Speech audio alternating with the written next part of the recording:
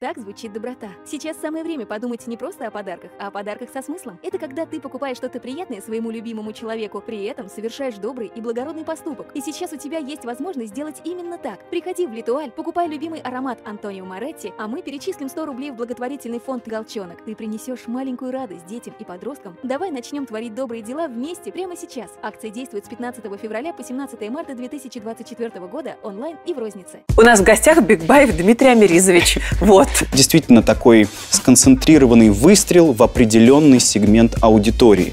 Дима, скажи, пожалуйста, ну ты же не стал скучным?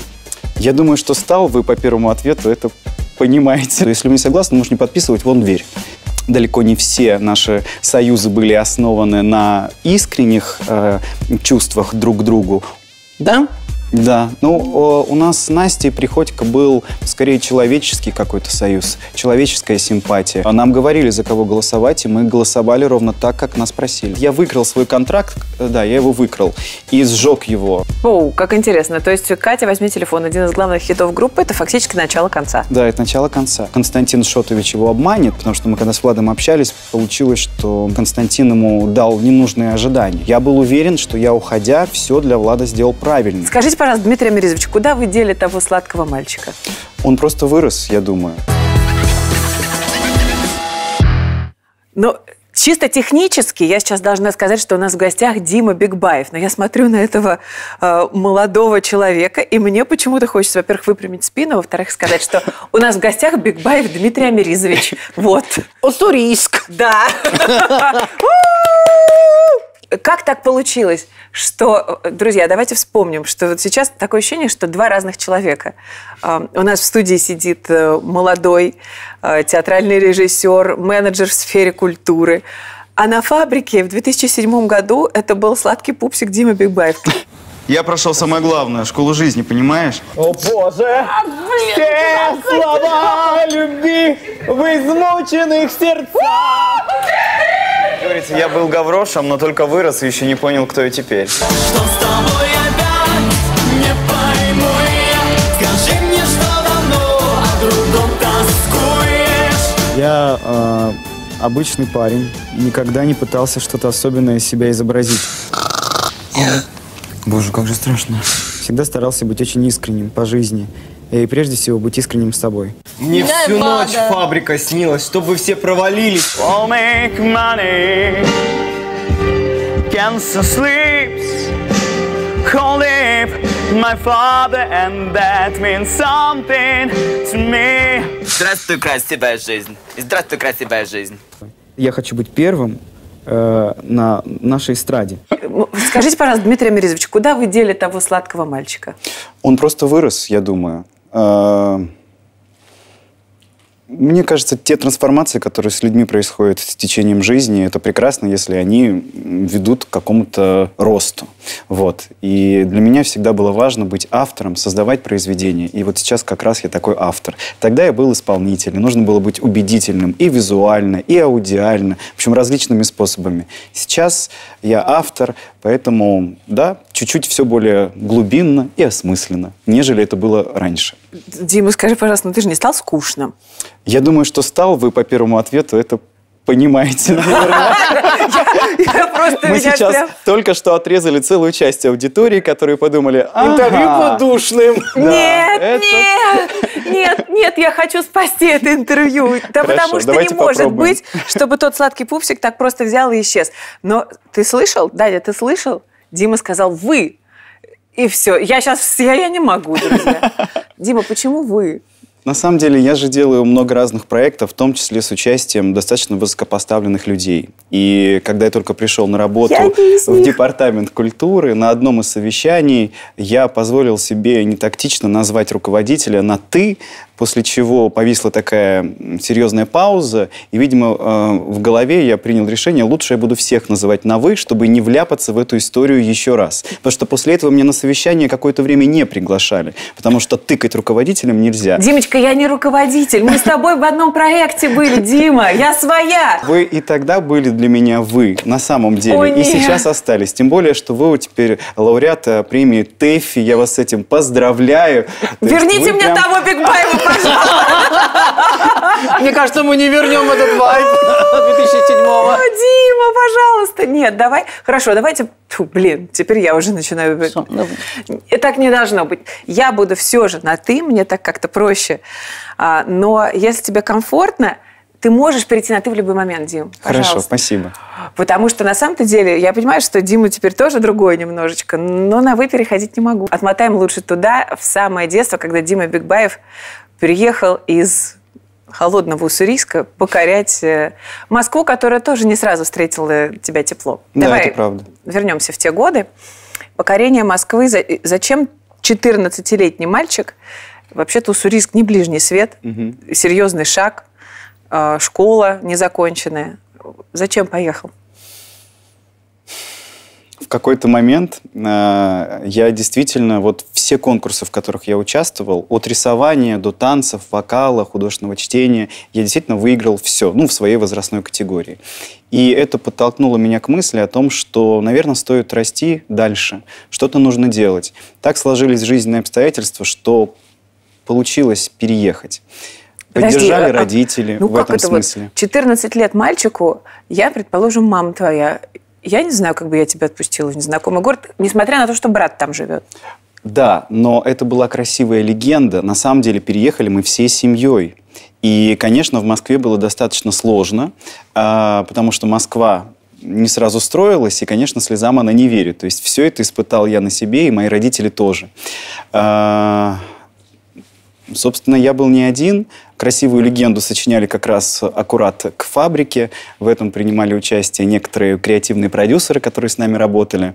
А, Я переехал с семьей. Нет-нет-нет, Ян, это не вы. Вы были ведущие Вот и потом отвечали за наши вот дневники, легенде. если мне память не Не изменяет. изменяет, Дима, не Да. изменяет.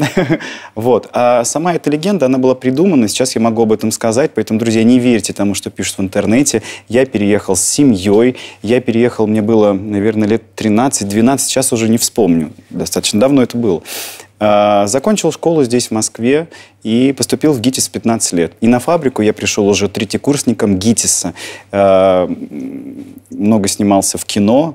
То есть я пришел не совсем такой нулевой артист в этом смысле. Вот Это просто, на самом деле, история красивая с переездом в одиночку добавляет романтических красок в твой образ. Теперь, как режиссер, наверное, это... Ну, я уже не являюсь исполнителем, поэтому я могу уже не сочинять себе красивую биографию, могу говорить, как оно есть, а есть оно так, что переезжали мы все-таки всей семьей. А, то есть получается, что вся семья Бигбаевых переехала в Москву. Да. И вы все покоряли этот город. Да. А как куда устроились родители? У нас было очень непросто, потому что в Уссурийске я был, мы были на особом каком-то положении, потому что и папа был даже депутатом еще при советской власти, то есть все, сказать, э, такая состоятельная семья мы были. И эм, настолько неплохо жили, что даже могли себе позволить там эм, ну, достаточно высокий уровень жизни, скажем так. Эм, в связи с этим у меня никогда не было очень много друзей, потому что многие завидовали, а, но я тогда не понимал, что действительно вся страна, особенно в маленьком городе, все живут в определенном, а, в определенном, в определенных обстоятельствах, и повышенный достаток может вызывать у детей агрессию. Я тогда не совсем понимал, почему не все хотят со мной дружить, не все хотят со мной общаться, даже учителя. А, Поэтому это было не совсем такое наполненное детство э, там, ам, счастливыми э, переживаниями во дворе и прочее. А переехав в Москву, так случилось, что мы рассчитывали на то, что там сложится бизнес, еще чего-то, но в итоге все пошло не по плану. А, И аферы были, и все пришлось продавать, и были периоды, когда приходилось продавать, ну, буквально вот все, что было нажито в Уссурийске, мы продавали для того, чтобы хоть как-то выживать. Ам, Мама пошла работать э, прод- продавцом в магазин. И она уже была, так сказать, прекрасная. То есть, понятно, ну, все эти, да, вот э, я ее видел в украшениях всегда, в каких-то, значит, э, нарядах дорогостоящих. А потом вот следующий, да, вот кадр, она торгует за прилавком. Но она у меня с сильным характером, буквально через там какое-то количество времени она уже стала директором магазина от продавщицы в Москве. Папа пошел работать официантом, потом стал директором тоже, а потом открыл свой бизнес. То есть сложно было первое время, да. Но вот этот достаток, который у нас появился, он появился как раз вот параллельно с «Фабрикой звезд», когда я только попал на проект. И какие-то вот, эм, например, в ГИТИСе я не мог платить за свое образование. За первые два года платил спонсор театра, потому что так решил художественный руководитель, который взял меня к себе на курс. Потом я начал активно сниматься в кино, в том числе мои сериалы показывали перед «Фабрикой» на первом. И это, конечно, было такой тоже большой жизненный выбор. Все-таки кино или эстрада. В итоге пошел в эстраду. Конечно, навсегда пожертвовал кино. Ну, такой был выбор. Так я тогда принял такое решение. Ну и вот э, потихоньку появился достаток. Ух, это ты сейчас рассказываешь про какой период? То есть вы переехали в м, 2000 каком-то там. А, у тебя с годами плохо, да? Очень плохо. Вообще ты не... Да. Это удобно, кстати. Да, пожалуй. Ну, подожди, если тебе сейчас 35, получается, ну, где-то в 2000 каком-то вы переехали, у вас там было на разгон какое-то количество времени, чтобы к 2007 году уже чуть-чуть поплотнее встать на ноги в городе. Да, да, да. Скажи, пожалуйста, ты... Ну, то есть у тебя не было... У нас очень много же, знаете, тоже стереотипов о людях вводится. И то, что человек приходит, и то, как он себя подает, то, как он себя позиционирует, вот этот вот щит, как я теперь понимаю, некая картинка, за которой отгораживаешься от внешнего мира, она всегда создавала ощущение, что у мальчика все классно. У мальчика он вообще весь упакован, он всегда улыбается, он всегда на позитиве. И когда ты понимаешь, что в реальной жизни за этим все не так бриллиантово, это, конечно, пробивает. Ну, нужно уметь держать лицо, несмотря на те жизненные испытания, с которыми ты сталкиваешься. Ты же публичный человек. Сейчас, конечно, тренд на то, что вываливать все нужно, а я все-таки за то, что если уж ты вышел на сцену или встал под камеры, то все-таки ты должен отдавать ответственность, осознавать ответственность, которая перед тобой стоит, учитывая тех людей, которые на тебя смотрят, как, например. Сегодня хочется поговорить с вами о важном. Вот уже три сезона мы встречаемся с фабрикантами и знакомимся с ними заново. Мы узнаем, как сложно им было на проекте, видим их непростой жизненный путь. К сожалению, такой формат, как реалити-шоу, может стать для участников не только толчком в карьере, но и причиной больших переживаний и проблем с ментальным здоровьем. За три сезона я увидела ни одного героя, который пережил депрессию, чувствовал опустошение, не понимал, как жить дальше. Кому-то было сложно жить под камерами, когда за тобой наблюдают миллионы людей. Кто-то, поднявшись на вершину, больно упал и не смог удержать популярность. От кого-то и вовсе отказывались продюсеры. Конечно, в такие моменты очень важно обратиться за помощью к психотерапевту. Во времена фабрики не каждый понимал, как и где искать психолога. Сегодня на помощь приходит Мета – сервис подбора психотерапевта, который уже на протяжении пяти лет успешно помогает своим клиентам улучшать качество жизни. В Мете самый строгий отбор. Лишь 5% специалистов попадают в базу сервиса. А благодаря максимально подробной анкете подбор психотерапевта простой и точный. А еще промокод Яна Чу дает скидку 25% на первую сессию. Хочу обратиться к каждому. К психологу можно и нужно обращаться не только со звездными проблемами. Не обесценивайте свои трудности. Если вы чувствуете, что вам нужна помощь, не откладывайте это на завтра. Мета поможет вам помочь себе. Скажи, Дима, раз уж мы как-то у нас интересный разговор пошел, не в, не в фабричном ключе, что мне очень нравится, надо сказать. Скажи, а не сложно ли всегда держать вот эту вот маску внешнюю? А Где... Это, это же тоже энергозатратно. Конечно. Поэтому я не соглашаюсь на интервью особо много. А мы Поэтому заметили, я, кстати. я, мне очень хорошо быть в тени. Но, с другой стороны, я понимаю, что, приходя на работу, на меня смотрят мои сотрудники. Если я буду ходить в растянутых майках и э, шортах, то о какой культуре мы будем говорить? О каких сверхзадачах мы сможем тогда размышлять? Поэтому, конечно, я прихожу в галстуке. Мне так привычнее. Мне действительно без галстука крайне непривы- непривычно. Сегодня я вот, видите, я в джинсах, да, то есть почти неформально. Для меня это, это уже тебя? неформально. А у нас проснулся. другой. Ребят, дайте, пожалуйста, общий план. Биг Бай в джинсах, это важно. Покажите. по- Просто я вот сижу и удивляюсь, вот Дима слушает, у меня, знаете, что в голове? Вспомните концерт открытия, а, а, кого они изображали с Марком Тишманом. Вот просто. Да, И это- вот этот мальчик. Марк Тишман, Москва.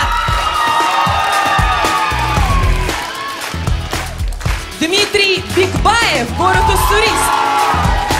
Поясняю для тех, кто не понял, эти двое только что изображали группу Тату. Это не потому, что им так нравится. Ну, тогда я работал артистом, тогда мне это очень нравилось, тогда я ничего в этом смысле не боялся, тем более с театральной закалкой, ну, сами понимаете, я мог э, изобразить любой образ.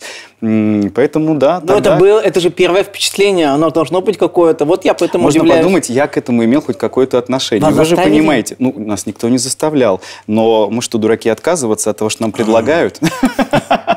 Нам так предлагали, что вариантов к отказу не было. Я уже не помню, кто. эм, на моменте подписания договора с э, Первым каналом э, кто-то сказал, э, а вот если у меня есть комментарии из участников, если я там с каким-то пунктом не согласен, это был ответ одного из продюсеров, что если вы не согласны, можешь не подписывать, вон дверь.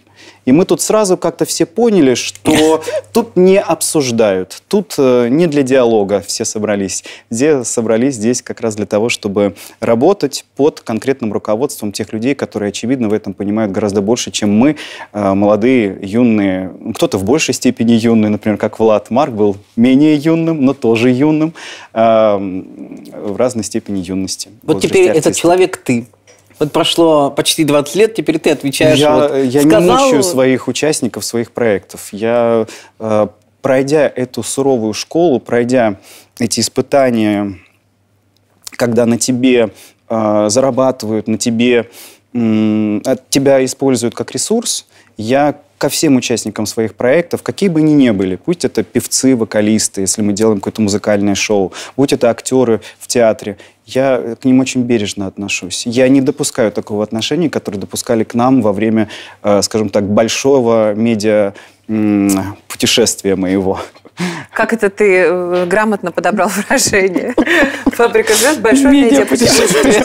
Лучше, пока у нас никто не формулировал. Это так и есть. Потому что здесь тебе все. И публичность, и навыки презентации себя. И что-то, что происходит с тобой, а ты не можешь это контролировать. И ты не можешь выбирать. И вот тебе приходится действовать в предлагаемых обстоятельствах, как говорят у вас Мгм. в театре. М, Но просто там не по сценарию уже какие-то вещи. Это прям интересно, такая комбинация реалити-шоу, то, то есть там же нет сценария, там есть вот эти предлагаемые обстоятельства. А вот А мы с вами действовать? говорим э, откровенно? Да, Откровенно. очень откровенно. Конечно, Но потом можно галстук вот так. Снимай, Дело не в том, как ты выглядишь, а с каким настроем ты сюда А, ну пришел. давай. Мне кажется, это важно.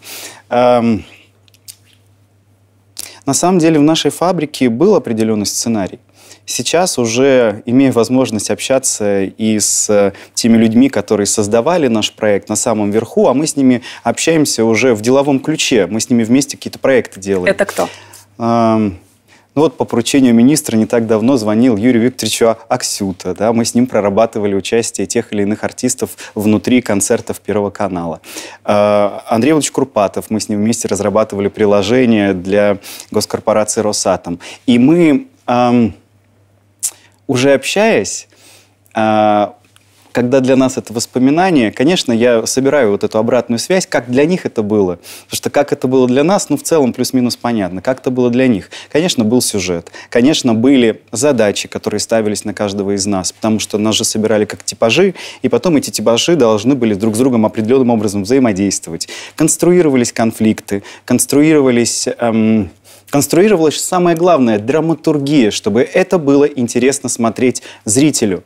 И, конечно, подводили и реакцию зрителей э, определенную к определенным этапам проекта. Поэтому это был такой управляемый проект. Не могу сказать, что мы жили так, как мы хотели, только потому что реалити – это ведь отбор. Сколько вы нас снимали, да, с утра и до ночи, и на протяжении трех месяцев. Слушайте, ребятки, получается, раз уж мы здесь, раз уж мы уже на этом отрезке нашего Доехали, интереса- доехали. Да, да, да, да, да, да. Давайте тогда разберем все линии седьмой фабрики, э, всех персонажей, и в результате, куда развитие этих персонажей зашло, и соответствовало ли оно замыслу. Слушайте, я думаю, что стоит отметить. Юлию Паршута, Ага. потому что она ну, действительно продемонстрировала тоже невероятную стойкость. Она, несмотря на то, что у нее долго закручивалась карьера, она не потеряла веру в себя и веру в музыку как таковую. И я радуюсь тому, что она шаг за шагом, просто как ледокол, который пробивается на Северный полюс, она собирает вокруг себя публику, собирает аудиторию, она от шоу к шоу растет и вокально, и как она выглядит, слушайте, ну просто невероятная красавица. И ведь на самом деле, положа руку на сердце, ей так выглядеть, это непросто. То есть она следит за собой, держит себя, я уверен, в ежовых рукавицах для того, чтобы иметь возможность так выглядеть. И я бы ее обязательно отметил, потому что она, я думаю, тоже добьется больших высот как артист, именно как певица. Потому что ее стартовые позиции на той же фабрике были и профессионально чуть ниже, и визуально чуть ниже. Она действительно идет в гору, она растет. Я желаю ей полных залов, э, э, чтобы, ну, наконец-то, она получила внутри себя и э, в внешнем контуре вот это вот признание в большом смысле этого слова, большую народную любовь. Спасибо, отлично. Хорошо, тогда пойдем на другую сторону чуть-чуть. Тут все сказано дальше. я- нет, я правда очень подписываюсь под А мы когда подойдем словами. к Владу Да подожди, ты подожди. У нас там еще остались люди, которые сейчас э, пытаются и перезапускать карьеры, кто-то еще из медиапространства, а, в разрезе того, что Дима-то наблюдал их старт и помнит какие-то фабричные вещи, которые вокруг них выстраивались. Вокруг Юли особо ничего не выстраивалось. У нее там был роман с Владом, и все вроде как. Ну, Ну, это, как роман, ну, как сказать, так. не роман, это была такая большая-большая симпатия. Да, Да, С- легкие с- шашни. с- Там же на самом-то деле мы же ребята были умные, ну что уж там. А, и мы понимали, что если есть какая-то симпатия, ну просто ам, тебя чаще показывают, ты чаще в эфире. Понятно, что там... ам, далеко не все наши союзы были основаны на искренних э, чувствах друг к другу. У Юли и Влада это была искренняя симпатия. Я не знаю по поводу Юли, потому что мы с ней это никогда не обсуждали, а, но что касается Влада, он был прям влюблен в нее очень сильно, очень сильно. А, а вот все остальные союзы, конечно, не могут этим похвастаться. Подожди, как же Ашихмина Богачева? Как же поцелуй в караоке? Насколько я помню, она потом за Иванова замуж вышла, нет? Да, Именно. а Иванов-то этого Слепина и зажигал. У нас еще та Санта-Барбара была, Дмитрий конечно. Бигбаев тоже, кстати, пользовался тем, что когда он там что-то с кем-то крутит, показывают это в эфире. Да? Да, ну у нас с Настей Приходько был скорее человеческий какой-то союз, человеческая симпатия. Вот то самое чтение стихотворений, которое всех так поразило Да. в эфире и прочее, это же была не моя воля, э, сказать, мне рекомендовали это сделать. И как раз э, те люди, которые следили за драматургией нашего шоу. А я что? Я увидела, смотрю красиво, смотрю, дай-ка смонтируем. Чпок-чпок. Настенька, можно поговорить с перемешки, пойти с тобой поговорить? Побеседовать? Побеседовать. На какую тему? На тему... Ну, просто побеседуем. Давай. Пойдем в концертную студию. В концертную? Почему в концертную? Ну, просто там никого нет. Больной, что ли? Театр Луны врубил. Я вас люблю. Хоть я бешусь.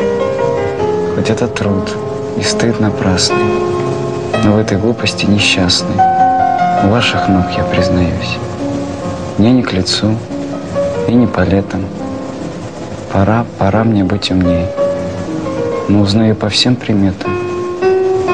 Болезнь любви в душе моей. Я не могу сказать, что это было неискренне, потому что мне объяснили, да, ты не прав, тебе нужно извиниться перед девушкой. Она испытывает глубокую симпатию, страдает, переживает. Поддержи. Ну, как смог, вышел, поддержал. Прочитал стихотворение, у нее там что-то в сердце там ёкнуло. Я, может, даже, может, этого и не хотел, но так случилось. Но в итоге на самом деле близость с ней у нас возникла уже во время тура, потому что ей было крайне непросто, действительно. Она тоже с очень сложной психикой. И вот, может быть, ей как раз не надо было побеждать на нашей фабрике, потому что в итоге это ей м, Вышло боком. сильно не помогло. Ну да. Мне кажется, что все-таки даже если бы она заняла второе место, это дало бы ей больше энергии для развития, для роста. Вот. И несмотря на то, что у нее был статус победительницы, в туре ей было не очень хорошо. И вот тут мы как раз друг другу очень сильно пригодились, потому что в туре мы друг друга поддерживали. А не очень хорошо, что ты имеешь в виду? В чем это выражалось? Она очень любила позиционировать себя а, в противовес всего коллектива. это была ее яркая защитная реакция. Я а вы. Ну, то есть, да, вот так разделяя а, людей. А все мы в туре были достаточно измотаны, в том числе психологически. Многие были даже не готовы к такому испытанию, как больше года находиться в постоянных поездках, переездах. Ведь на самом-то деле это тоже испытание для психики, тоже стресс. Эм, близких нет. Э, и ее психика находилась в таком серьезном напряжении, кто как мог его снимал. Э, И в какой-то период этого тура мы были очень рядом, очень близки поддерживали друг друга. Мне кажется, что еще, поскольку было некие, были некие вопросы у аудитории в целом к результатам именно седьмого сезона, на концертах это тоже, наверное, в чем-то довыражалось. Но никто ничего не мог сделать с тем, что, выходя на сцену, в- когда выходили мы с Владом, а, большая часть зала была счастлива, и нам просто физически дарили больше цветов, больше эм, Игрушек. игрушек, да. Эм, но с этим ничего не сделать. Из-за того, что мы заняли Третье.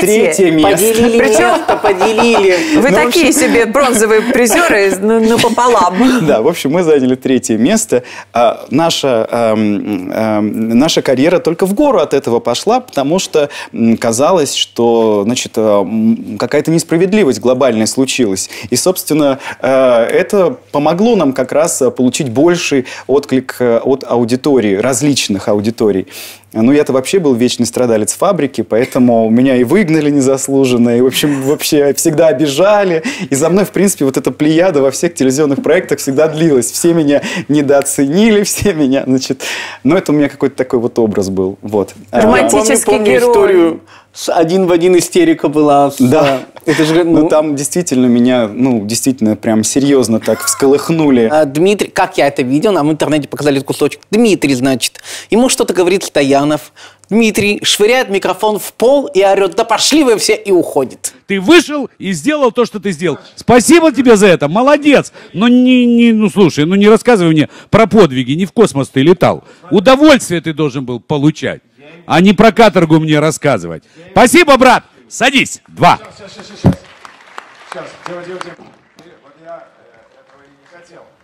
Ну, естественно, я ничего не орал. То есть то восприятие, которое Даня показал, это, видимо, как раз то, что хотели Это показать народ. нам телевизионные продюсеры.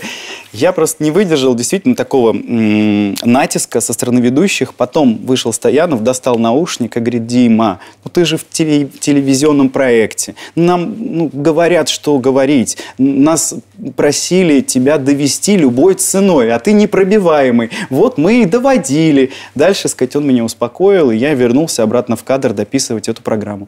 То есть там э, члены жюри каким-то образом отреагировали на твое выступление? Да, им то есть было была, тебя- им нужны были Эмоции. эмоции, да. А я, вы же знаете, сказать, достаточно такой... Стрелянный а, воробей. Да, покер-фейс, и вот. Несмотря на то, что, конечно, мне кажется, после фабрики э, любое, э, любое телевизионное испытание уже по плечу. Но давайте тогда переедем в тот самый 2003 год, когда маленький Дима Бигбаев пришел На фабрику вторую «Звезда». фабрику. Э, В каком качестве ты пришел? Как, как вообще, почему ты, ты решил туда прийти? Как Я тогда занесло? даже не мечтал быть артистом. Я тогда м, готовился к тому, чтобы стать журналистом. И одна из частей нашего обучения, подготовительный курс в МГУ, это... Нашего журфака любимого. Да, это эм, в том числе посещение Останкина. Я уже, честно сказать, не помню. Я там был не на фабрике звезд, то есть что-то другое. Но имея возможность зайти в первый павильон в дневное время, пока в первую студию, прошу прощения, в Да. первую студию, э, пока там идет репетиция, но я не мог этим не воспользоваться, потому что, ну что я там, пацан, сколько мне было лет, не вспомню. И я вот так тихо-тихо-тихо сел в зале до начала прямого эфира. Боже мой, как это было невероятно. Но что я тогда осознал? А, что вот эти ребята, простые ребята, и в принципе ничего мне не мешает подтянуться чисто профессионально до этого уровня. И, может быть, вот это ощущение того, что вот, только рукой протяни, и ты будешь на их месте, оно мне сильно помогло на этапах прохождения кастинга, э, потому что, ну, я не боялся этого. Я предполагал, что я имею на это право тоже быть на этом месте. Это, может быть, мне и помогло. А ты сделал какой-то материал э, по результатам этого визита тогда на второй фабрике? Ты написал статью, заметку, интервью кого-то? Честно сказать, не помню. Я говорю, я там был не по этому вопросу. А, поняла. Я, я, я с кем-то там познакомился, то ли с продюсером, то ли с администратором. И пришел потом еще на один эфир, но мне было очень важно, чтобы меня показали по телевизору, поэтому мне сказали, сделай тогда плакат. Вот у кого есть плакаты, их показывают. Я сделал плакат, мне было безразлично, кто номинирован, я просто сделал плакат, мне было важно, чтобы меня показали по Первому каналу. И, естественно, там так получилось, что я успел и отсняться, и по телевизору увидеть. То есть, видимо, с задержкой было. Даня, мы должны найти этот концерт. Как, Нет, как, нет, он там маленький. У меня есть... У меня, конечно, есть те концерты второй фабрики, да, покадрово смотреть. Даня, мы должны найти этот концерт. Друзья, помогите нам, пожалуйста, если вдруг мы сейчас не смогли вмонтировать это. Нам нужно найти Бигбаева Хорошо, на концерте хорошо. второй фабрики в А Ты зрителях. натолкни нас. Что хоть там пели, какая песня? Я прекрасно помню и артисты, и песни, но Давай. не буду упрощать вам жизнь. Итого, опять же, мы в 2002 сейчас. Мальчик понял, что он хочет на фабрику, в то же время он параллельно развивает актерскую карьеру. У тебя были сериалы, тебя даже позвали в кадетство. Да. Кадетство, Дима! И я не Чего? пошел на кастинг. После этого испортились отношения. Ну, мне звонит агент. А у меня, я действительно, у меня красный диплом ГИТИСа. Я не пропускал занятия, только если меня отпрашивали на съемки. А, и тут кастинг, кадетство. Мне рассказывают сюжет, я говорю, ну, слушайте, ну не моя тема. Ну где я, где, ну вы помните, как я выглядел? Где я, где вот история про военное училище? Вы что, с ума сошли? И, и на меня, я помню, так накричала агент, бросила трубку, и после этого год меня вообще не снимали. Вообще не снимали нигде. Я в итоге снялся в этом кадетстве, но сильно не в главной роли. Саш, ты не можешь сказать, что случилось или нет? Ничего не случилось, просто отведи меня к брату и все. Так, Ноздрев, у тебя пять четверти по химии? Умоляю, помоги мне, потяни мне, мне химоза уже достала. Я бы с удовольствием, но я не могу, у тебя времени нету. Почему у меня времени нет? Ты же спишь по ночам? Сплю.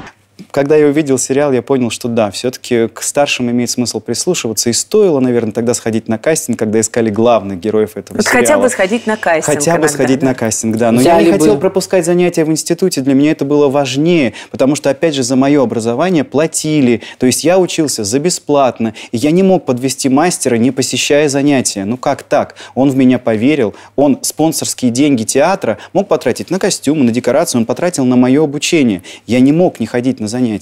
Ну вот не случилось. И после этого меня год не снимали.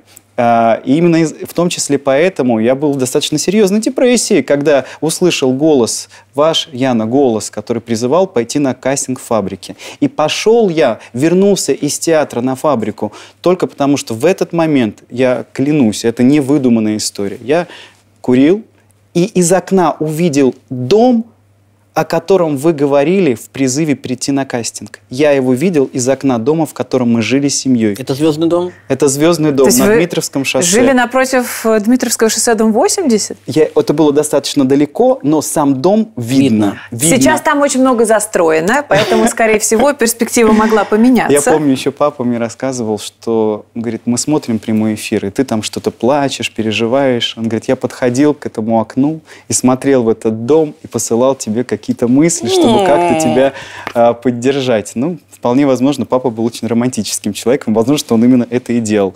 А, и я принял решение идти на кастинг.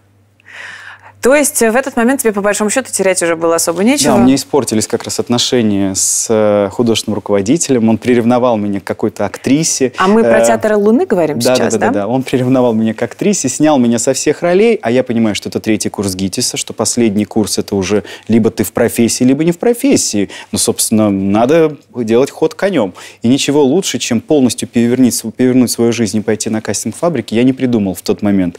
Я целую неделю готовился к этому кастингу. А, загружал в себя какую-то веру а, в то, что все будет хорошо, и я пройду, хотя все смеялись. И домашние смеялись, что, ну, конечно, ну, какая фабрика, что глупости. Э, но, но все получилось. Что ты со своим вот этим бэкграундом пошел вот в эту очередь на Дмитровском. Дальше-то как э, происходит весь этот э, Ну, отстой? В я- смысле, отстоять очередь? Я же много снимался в кино, соответственно, для меня ходить на кастинги вообще не проблема. То есть я понимал, в чем прикол. То есть прийти нужно сильно заранее. Я пришел в 6 утра, при том, что начало кастинга было, по-моему, в 12. Я записался 400, черт пойми каким. Я отстоял эту очередь. И мне повезло два раза. Меня ровно э, за м, вход, за десятку до входа вычленяет э, какая-то девочка с оператором, говорят, «Э, мальчик, нужно, чтобы вы прокомментировали, что здесь происходит. Я думаю, ну все, все, уже перед камерой ставят, ну, значит, сказать, привлек внимание, прекрасно, идем сниматься. Я записал интервью, которое потом вошло в первый выпуск. Э, Как здесь много людей, каким я записался, откуда я родом, вот это вот все-все-все. В Москве ты можешь поставить, в принципе, любую себе цель, а в Уссурийске ты просто даже об этом думать не будешь. Ты просто будешь думать на уровне обычного города, добиться там квартиры, машины, тебе больше ничего не нужно. А здесь Москва располагает творческого человека э, к мыслям о вселенской, э, я не знаю, славе и так далее. А, И потом он говорит спасибо и убежала. А моя десятка зашла. Я, если честно, не помню как, но у меня я ходил, я звонил, я махал. Ну, то есть я все, что мог, я пытался сделать, чтобы объяснить, что, коллеги, ну так не бывает. Я сейчас запишусь, э, э, то есть я уже не отстаю до конца. Каким-то чудом кто-то меня вспомнил, кто-то где-то провел, поставили, но вы ушли на обед. Как сейчас помню. Мы, Объявили не мы. обед. Да. Ну, в общем, Они. те, кто смотрели э, э, участников, ушли на обед. И в этот момент я попал в одну десятку с Сережей Ашихминым. А он был ученик э, Марины Леоновой. Леоновой. И она к нему выходит. А я что? Я просто рядом стоял. Но я внимательно слушал. Потому что Марину Леонову я знал прекрасно, она была педагогом по вокалу. И она начала ему говорить, где стоять, что петь, как себя вести. И вот это все идет мне, ну, сказать, фоном в ухо. Я понял, что я не встану на эту циферку, мне нужно пойти другой десяткой. Я где-то спрятался и пошел другой десяткой, но встал ровно цифра 1, 2, 3. То есть нельзя было быть, вот надо было быть в начале, потому что тогда получаешься ровно перед жюри. И я, конечно же, правильно начал петь правильную песню сразу с припева. Собственно, вот мне А повезло. правильно это какую? Там просили что-то, она ему говорила, пой Билана, у тебя хорошо получится, потому что нужна веселая, зажигательная, что-то такое, чтобы показать энергетику. Никто там слушать, как ты поешь, не будет. По-моему, какие-то такие слова она э, использовала. И я начал петь какую-то веселую, зажигательную песню, и вот как-то вот мы прорвались. И вот вы прошли в «Звездный дом». Твои эмоции. Это было очень сложно, потому что если у ребят э, случился, наверное, у многих этот момент, когда они забыли о том, что они под камерами, я не забывал об этом никогда. И мне было очень сложно, потому что было дикое напряжение всегда. Э, Действительно, держать себя приходилось. Э, То есть мне было тогда, как актеру, проще играть какую-то роль. И меня поэтому бросало из горячее в холодное. Никто не мог понять все-таки, кто я такой. И не чувствовал связи с этим искренности. Кроме пожалуй, что Влада, с которым мы действительно прожили там три месяца, каждый день находясь вот э, в, в ближайшем контакте. И фабрика это было большое, серьезное испытание. Ну, Мне и- сильно было некомфортно. Сильно А вот что было самое некомфортное, помимо камеры и того, что тебе все время нужно было? Ну, э, было достаточно серьезное давление со стороны педагогов по вокалу, которым не нравилось то, как я пою. И э, это в итоге отражалось на... Так как к ним прислушивалось, прислушивались редакторы, э, отражалось на том, что мне дают петь, какое количество музыки я пою и прочее, прочее. И на самом деле самое лучшее, что было на фабрике с точки зрения вокала, это песня, которую написал э, специально для меня Константин Шотович, это песня «Живой цветок». Если бы, наверное, не эта песня, я бы в сознании людей э, именно из-за этого серьезно негативного отношения педагогов я бы остался каким-то непоющим или полупоющим человеком. И потом вся моя музыкальная история, я бы не сказал, что это какая-то карьера, но история была связана с тем, чтобы и саму, самому себе, и им каким-то образом все-таки доказать, что я э, вокалист, что я петь умею или умел, сейчас уже не знаю. Вот. А давно, кстати, не пел?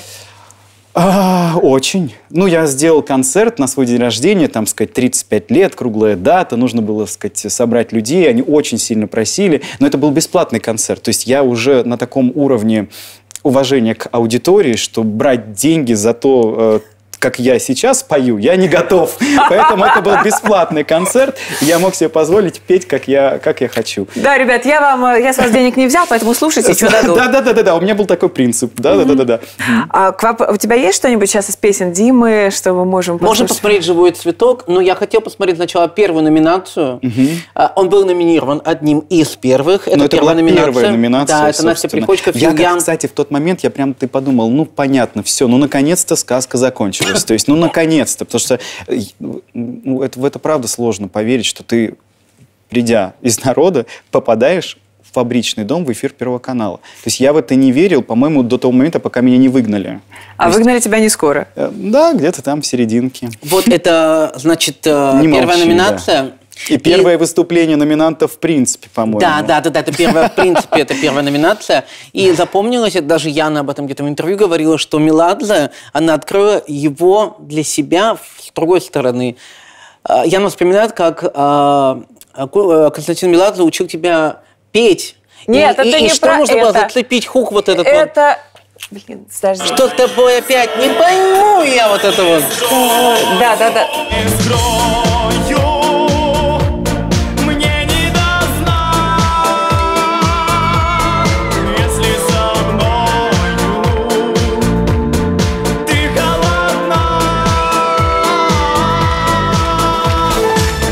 Блин.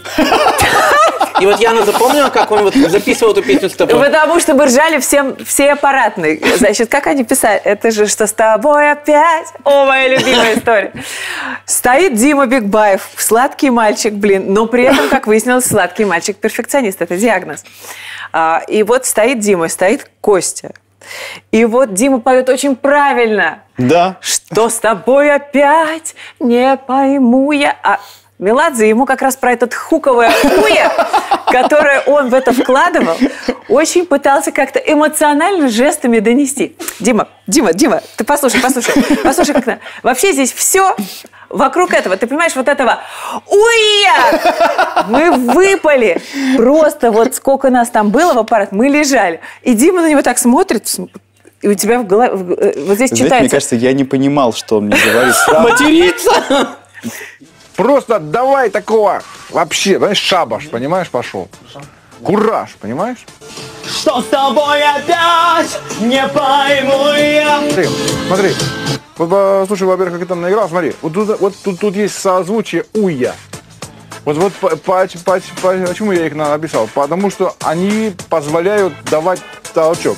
Что с тобой опять? Не пойму я. Понимаешь? Что с тобой опять? Не пойму я. Вот так, муя. Муя. О, тогда будет именно, понимаешь, пружина. Вот та, которая за- закачает Еще раз говорю, я не забывал, что я под камерами. То есть у меня мир другой. А Константин да. что-то забыл. Но я его так, видимо, достал, потому что даже его стеснительность уже пропала на фоне моего незамутненного сознания, скажем так. Ты прям улыбался, хлопал глазами, думал, как, в принципе, это же, это же наш папа. Почему вот это вот, откуда это уя? Я вообще вот здесь не матерюсь, я, видимо, за собой слежу.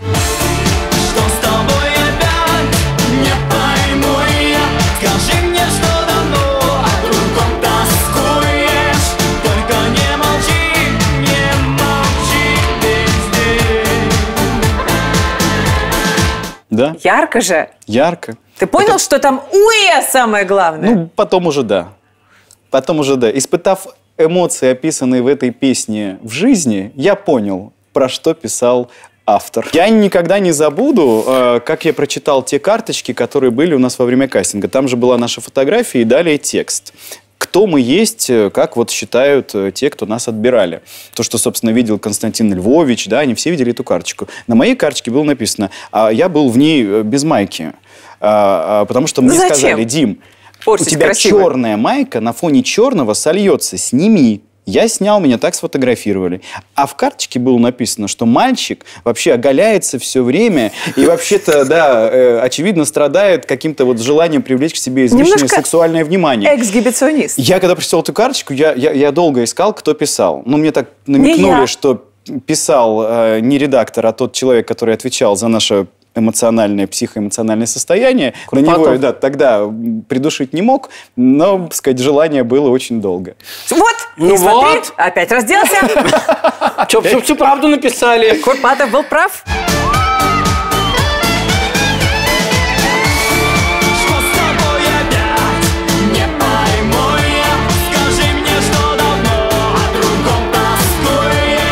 Ну, на Да. самом деле, вот без шуток, вот э, после этой песни, собственно, э, Настя и победила после первой номинации. Она спела песню э, «Три зимы», «Три зимы» — которая изначально была не ее. Как раз после этого исполнения э, Константин увидел в ней большую артистку, и вот ровно до э, конца сезона его это ощущение не покидало. Удивительно, удивительно, насколько зритель э, и насколько вот продюсер видят по-разному. Именно, но Константин, он из тех, кто будет настаивать на своем выборе до последнего. Потому что он привык к тому, что он демиург. Он тут творец. Человек только в 2009 году понял, что он что-то не туда нажимал, не там настаивал и отпустил. Ну, признал, э, так сказать, и, и молодец. Так, э, Бигбаев оголился, значит, с первого. Как, как мы уже поняли. Мальчик любит это дело. и- и поэтому Очевидно, с- конечно. Сейчас он у нас зачехленный просто Да, по да, да, последние пуговички. Галстучек, прям пуговичка. Сын маминой подруги. Классический, просто вообще. Трансформация пупсика называется Да. этот путь.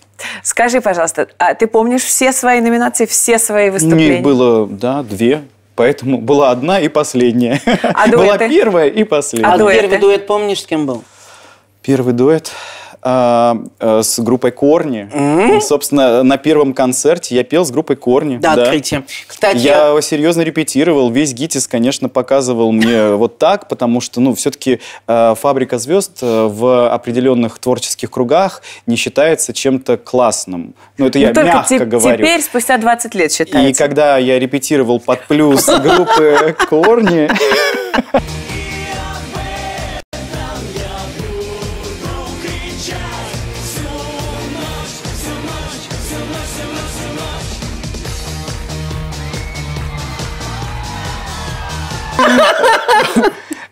конечно, э, ребята, м, да, у ребят это вызывало серьезные вопросы. А ты параллельно учился как-то? Или это был третий академ? курс. Нет, это был третий курс. Он ровно закончился. Потом я пришел к мастеру, сказал, я прошел на фабрику звезд, пожалуйста, прикройте меня. Просто так сказать, да, вот четвертый курс. То есть я до этого круглый отличник, ничего не пропускал. А, ну, только по, когда ездил на съемки там в другие города, раньше было принято снимать не в Москве, потому что дешевле. Сейчас уже опять все снимается в Москве, потому что уже в других местах э, дороже. Э, вот. И отпустили, да, отпустили. То есть И все тебя- равно дали красный диплом, при том, что я четвертый курс почти не появлялся. А потому что, друзья, так работает репутация. Три года ты на нее работал, ничего Да, не пропускал, был вообще молодец с точки зрения учебы, поэтому четвертый уже Это вот та так. фраза, которую мне сказали на первом курсе, я правда ее услышал. Работай на свое имя, потом будет работать на тебя. Мне действительно сказали это педагоги, и я их слышал в этом. В этом. Да, это хорошо, когда ты умеешь слышать э, и исполнять. И у тебя получается, кстати, красный диплом ГИТИСа и еще два высших образования, да? Но это не совсем образование, это идет профессиональная переподготовка. То есть по результату тебе дают также диплом государственного образца, но это не 4 года от звонка до звонка. А, Это менеджер э, театрального производства, это э, тоже в родном любимом ГИТИСе. И потом директор театра, это прям повышение квалификации с отдельным дипломом, директор театра, кадровый резерв Департамента культуры города Москвы. Мне А очень теп- нравился наш дуэт с Викой Дайнек. Вот, потому я что его я ее очень э, как человек э, люблю, и она мне дико нравится. И я считаю, что она очень талантливая артистка. И ну, вот если бы так сложились звезды, чтобы я бы мог ее бы пригласить бы на какую-нибудь хорошую роль, я бы, конечно, позвал. Игорь Игоревичу набери. она- А, кстати, говорят, у вас роман был? Мы с ней просто дружили. Мы были очень близки чисто в человеческом плане. Очень близки. Она в свое время сильно-сильно мне помогла. Очень сильно. Потому что это был период уже, когда в группе БИС там было не все, слава богу. И она как все-таки победительница, у нее тогда карьера была на самом взлете. Она очень много мне дала поддержки, которая мне тогда была очень сильно необходима. И вот она для меня вот навсегда осталась и близким человеком, и очень ярким артистом, А талант которого, как мне кажется, не до конца еще даже раскрыт. Вне энергии артистического потенциала все еще очень много, и хочется, чтобы это увидели. И я не знаю, почему пока что-то вот э, ощущение какой-то паузы сейчас есть. Возможно, ты теперь ей сможешь помочь. А? Настал Да, не хочешь ли ты сделать из Виктории Денека актрису? Тут вопрос не к Виктории, а к Игорю Игоревичу. И еще одному человеку, который Вот ужас, да, напрямую никогда не Не подкатишь. получается. Слушай, а в чем именно она тебе помогла, Вика? Может, я чего-то не знаю? Тогда был период, э, когда, понимаете, вот группа БИС, мы просто, вот вы идете, я так понимаю, что по, Да, подходим, да, подходим. по, по времени, да, но раз уж затронули эту историю, то эм, в БИС была определенная атмосфера. И в этой атмосфере все было максимально комфортно для Влада, потому что там был его балет, это его друзья из Тодоса, были, э, был его директор, был его папа. Все было ему очень хорошо, ему было на кого опереться.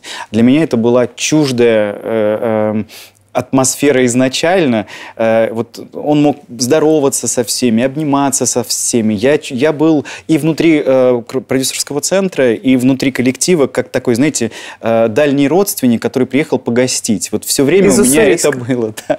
И эм, в тот период я, например, да, написал книгу. То есть я бы сейчас не написал книгу. То есть настолько мне было тяжело, и не с кем было разделить эти переживания, потому что родителям ты говоришь, все хорошо, чтобы они не волновались, не переживали. А с кем-то другим чем-то поделиться тоже, ну, не сказать, что была возможность, потому что те, кто были до фабрики, отвернулись, потому что появилась какая-то популярность, и понятно.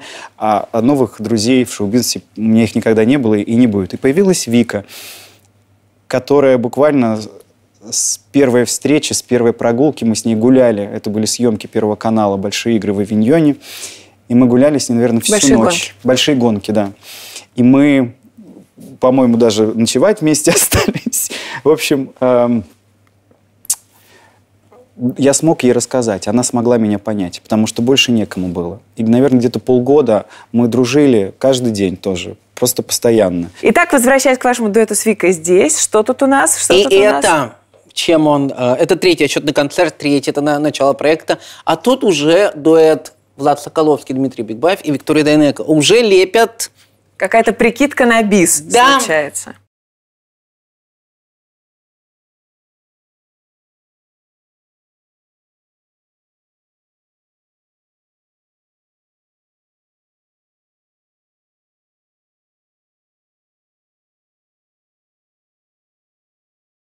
Ну, тут не совсем прикидка. Изначально должен был быть квартет мальчиков. Собственно, нас всех собирали под квартет. Э, Потом уже э, из-за того, что ну, какие продюсеры могли догадаться, что мы реально с Владом за время кастинга станем настолько близки, что даже одни и те же вещи носить будем. Ну, то есть Ну и этого размер у вас предположить- приблизительно один. Нет, он растягивал все мои вещи. Он крупнее меня был всегда. Серьезно? Серьезно. Я в какой-то момент его просил конкретные вещи не, Не носить, трогать. не носить, потому что после него, а он это прекрасно знал, я это уже не могу позволить э, носить на себе. Ой, оверсайз, Дима. Э, Тогда это было не модно, вы же помните. да? Сейчас это модно. Э, Вот, смотрите, кто там про галстуки что-то говорит. Вполне себе серьезные парни в галстуках. Вот, пожалуйста, разве что Бешеные псы какие-то.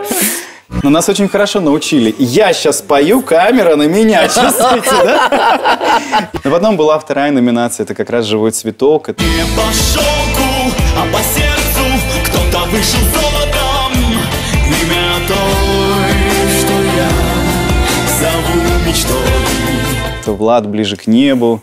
Э, Как раз я никогда не забуду, настолько мне было важно, чтобы у Влада все было хорошо, что я же ему хотел отдать песню «Живой цветок». Он так хотел, чтобы ему Костя написал песню. Я не знаю, если вы будете действительно смотреть, можете найти, когда я прихожу и говорю, слушай, мне Костя написал песню, хочешь, я тебе отдам, а я спою песню Марка. Слушайте, как знал, какая из них двоих, э, из, одна из двух, да, будет хитом. Но в итоге Влад остался ближе к небу и не прогадал, потому что песня стала действительно большим-большим Ну, Влад, шлягером. Влад э, тут сидел и говорил, что она-то ему как раз не очень-то и нравилась. а Да, он Она ему не нравилась, да, да, да. Что он ее по, по злому как-то спел. И из-за этого выстрелила песня. Что Ну, он эмоцию Влад не мог спеть плохо, потому что действительно его очень любили, в том числе а, педагоги, и Влада записывали по 6 часов. Ну, потому что он булочка. тут как раз очень публика реагировала по поводу там справедливости и несправедливости, что меня, так сказать, записывали там за 5-10 минут, а с Владом возились часами.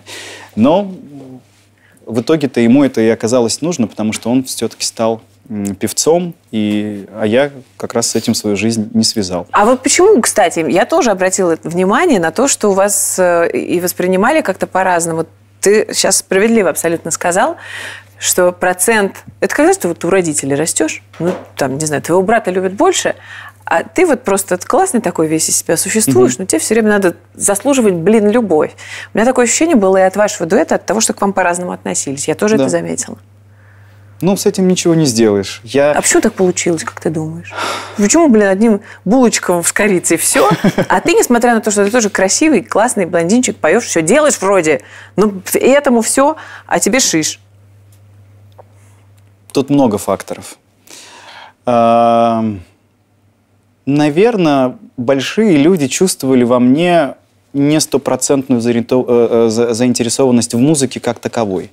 Я думаю, что это чувствуется. Все-таки театр у меня всегда был на первом месте, а музыка — это как средство для повышения своей медийной стоимости, для того, чтобы больше людей привлечь к себе э, как исполнитель в театре, либо как автор в театре. Я тебе не И- совсем об этом, Димуль. Я тебе про твои ощущения от этого. Вот Мои ощущения были не очень хорошие, потому что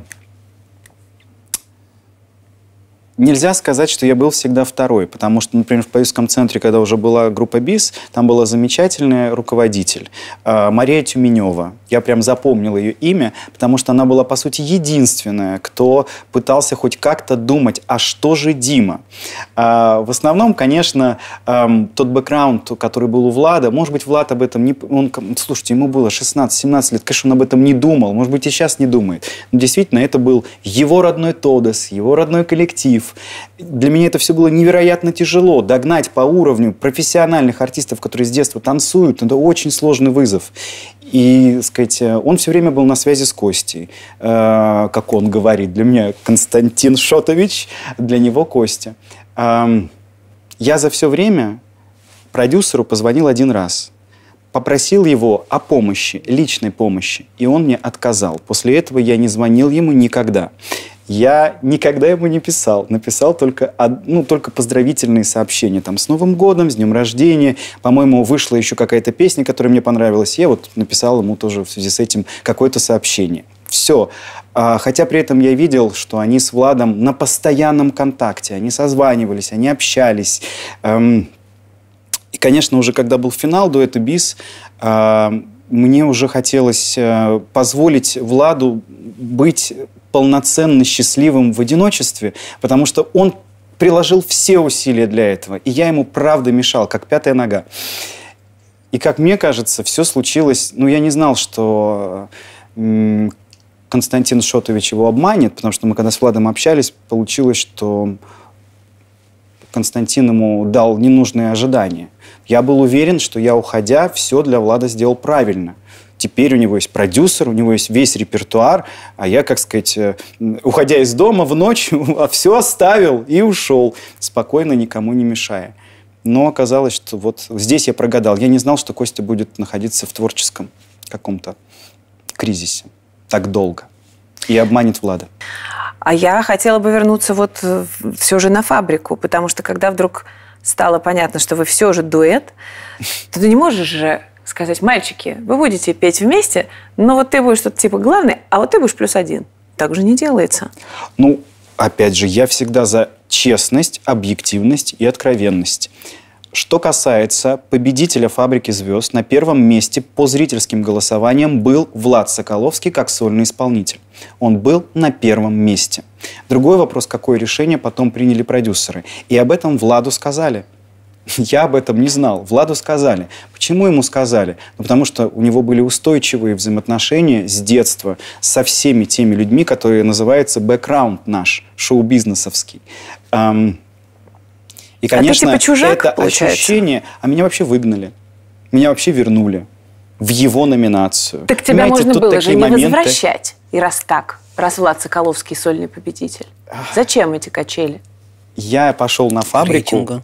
Потому что, э, слушайте, это, это- это- как это выглядело, да, физически, да, то есть вы уж сами решаете, чем это было наполнено.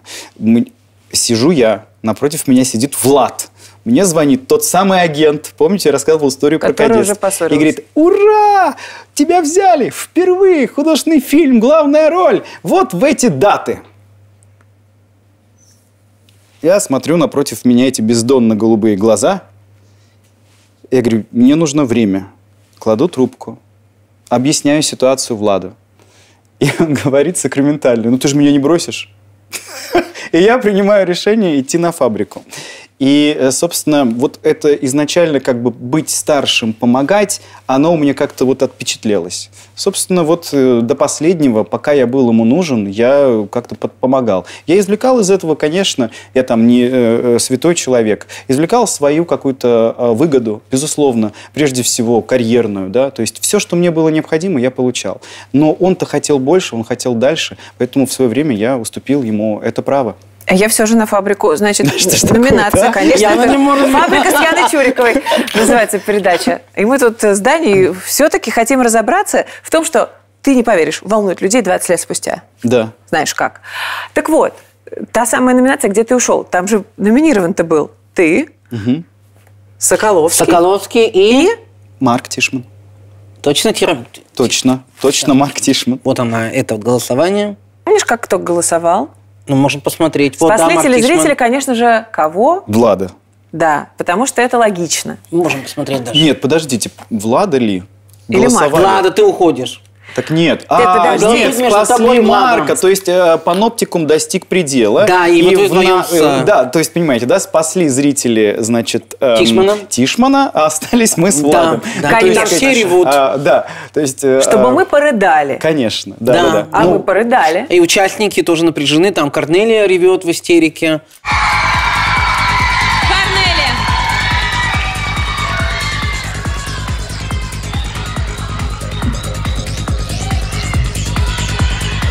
Эти два человека, эти два, а, мы с самого первого дня кастинга были вместе, я их очень люблю, и мне сейчас очень тяжело. Но а, я хочу видеть, Владик, я хочу тебя видеть.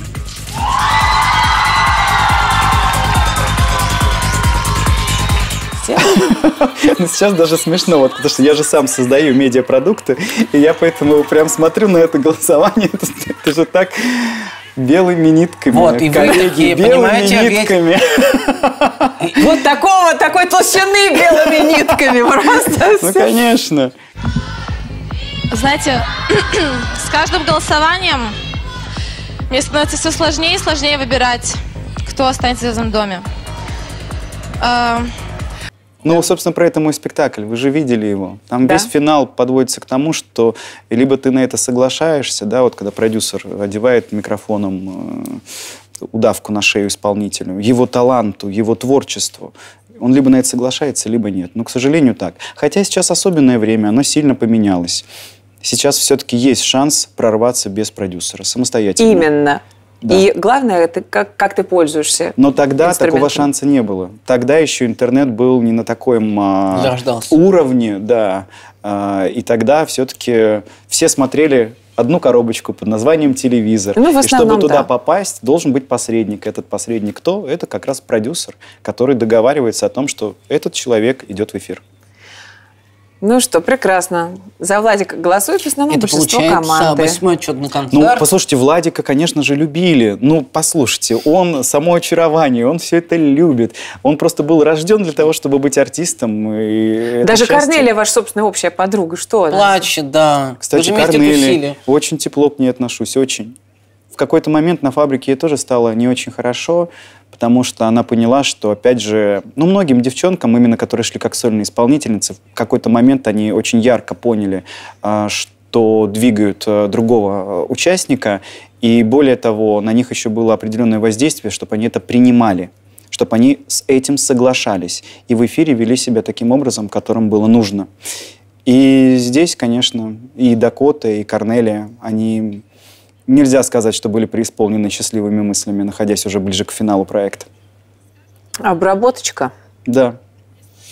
долгое, ну, какое голосование А нервное. когда они, потому что подбирают слова, это же для них тоже была какая-то трагедия, что... вот- Ну нет, слушайте, это была не самая большая трагедия, потому что начиная с голосования Пупса, а, нам говорили, за кого голосовать, и мы голосовали ровно так, как нас просили. А что там у нас, какой переломный момент на голосовании Пупса это произошло? Когда вы немножко игру, А. что ли, поломали? Нет, я, там была история такая вопиющая для меня несправедливости, после которой мне уже по-человечески было нехорошо, потому что я очень дружил с Катей Цыпиной и по сей день А, да. отношусь к ней хорошо. И а, я ей обещал, что я за нее проголосую. Исходя из этого строилась вся история. Но на тот момент уже нельзя было голосовать, как мы хотели. А, И мне сказали, что нужно оставить пупса и что нужно сказать. И я так и поступил. Это же шоу. А где твой протест?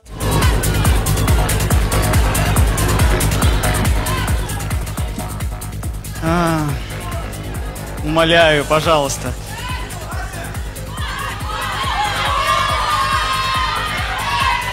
Ну, а, я всегда старался отдать эту звезду человеку, который в этом наиболее нуждается.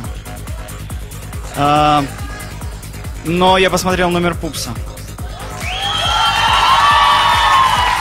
И вы знаете, он действительно артист. С большой буквы.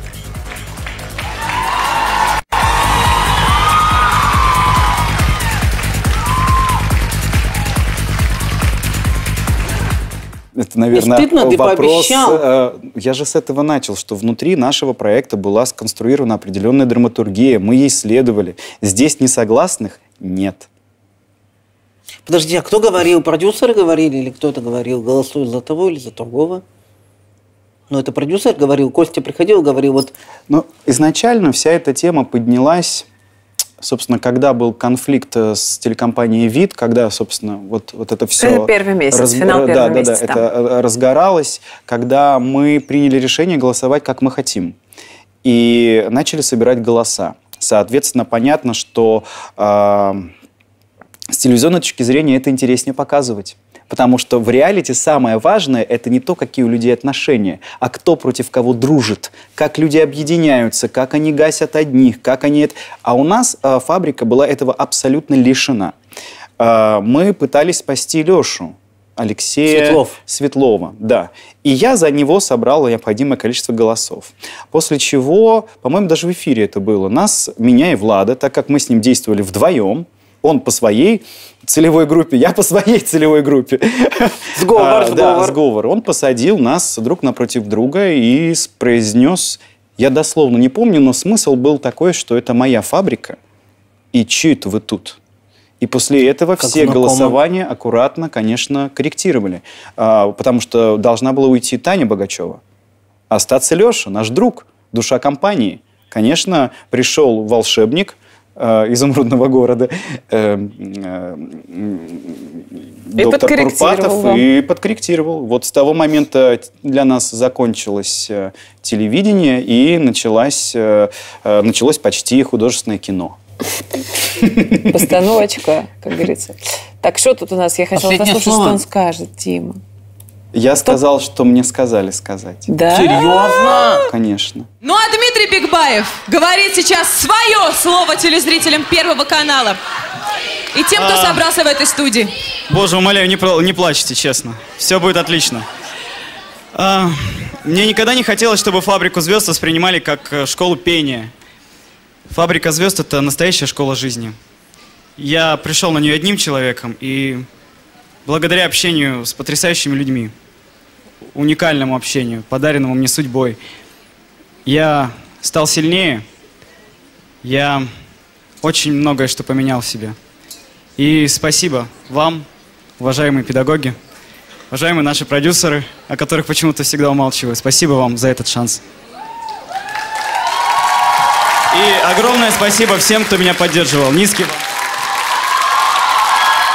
Вы почему так удивляетесь? А Да, что потому это что, не да, очевидно? Смотри, а, у нас были гости предыдущих сезонов. Да. Там, конечно, была а, схема, кого спасти. Ну, прям не четко не говорили, же. а так намекали, знаешь, одному-двум скажут. Ну, слушайте, может быть... э, Ну, последние слова они сами говорили. Ну, чтобы тексты править, такого не было. я уже ну, смотрю на это как на какое-то такое прошлое, которое не нуждается в корректировке. Проще сказать, как оно было на самом деле. Это и ценим. А, эм, Я, а, естественно, мне было очень тяжело. Мне было больно. Я расставался с э, близким человеком. Я за него переживал. Я также считал, что многое несправедливо. Я же видел этого же Марка, который якобы победил в народном голосовании и уходил, как нас оставляют с Владом. Все это было очень болезненно. И я видел глаза мамы, которая переживает, поэтому я держал лицо. Я бы много чего хотел сказать в этот микрофон, но слава богу, что мне сказали, что сказать. Я сказал ровно то, что нужно было сказать. эм, потому что я понимал, что мне возвращаться через три недели, и все должно выглядеть каким-то убедительным образом. а, то есть тебе уже знали, что тебя вернут. Ты, тебе уже сказали, да? Да. Ну, это же управление сознанием. Ну как, это же очень просто. Ты говоришь, что тебе нужно сделать для того, чтобы достигнуть определенного результата. Если тебе не дадут ясную картину будущего, ты не будешь действовать так, как тебе говорят. Тебя должны заманить на этот ясный образ будущего. Мне объяснили, что сейчас для, для матургии тебя нужно убрать, сказать, потерпи, пойди навстречу, Владик маленький, ты старший. Вот, сказать, нужно вот осуществить это действие. Какой Я ужас. это действие осуществил. Вот. И, собственно, ушел э, в ожидание. Правда, потом конструкция немножко пошатнулась. В какой-то момент все-таки дуэта не было.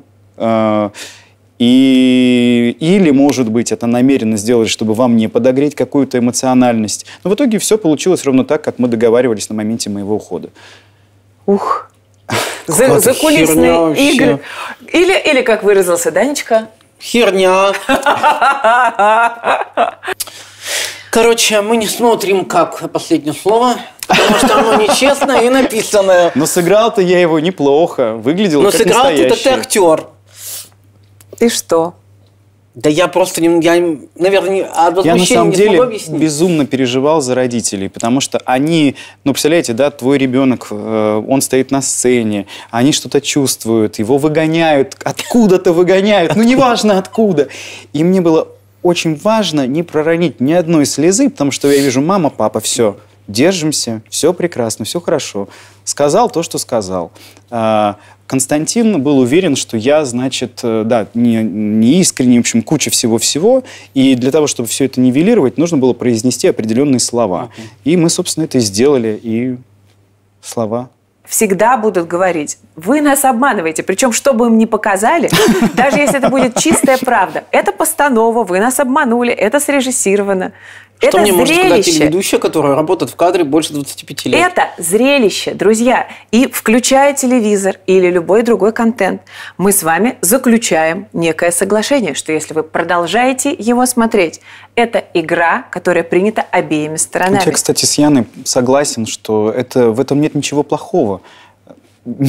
Потому что все-таки, представляете, да, федеральный прямой эфир. Какая мера ответственности у людей, которые за него отвечают? Мы не берем тех людей, которые в кадре, а те, которые за кадром. Мы же понимаем, что это и смысловая нагрузка на население. В тот момент это был важнейший телевизионный проект. Впереди был выборный цикл, и фабриканты там были участниками. Это достаточно серьезная история.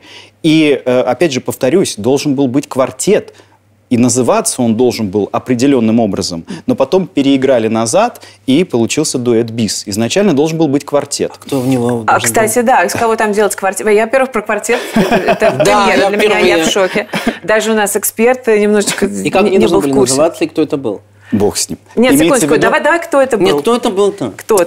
А, Ты- ты- Должен был быть Фил Янг, я, Влад и, по-моему, Сергей Ашихмин. Я могу что-то путать. Но история была про четверку парней, которые танцуют и поют.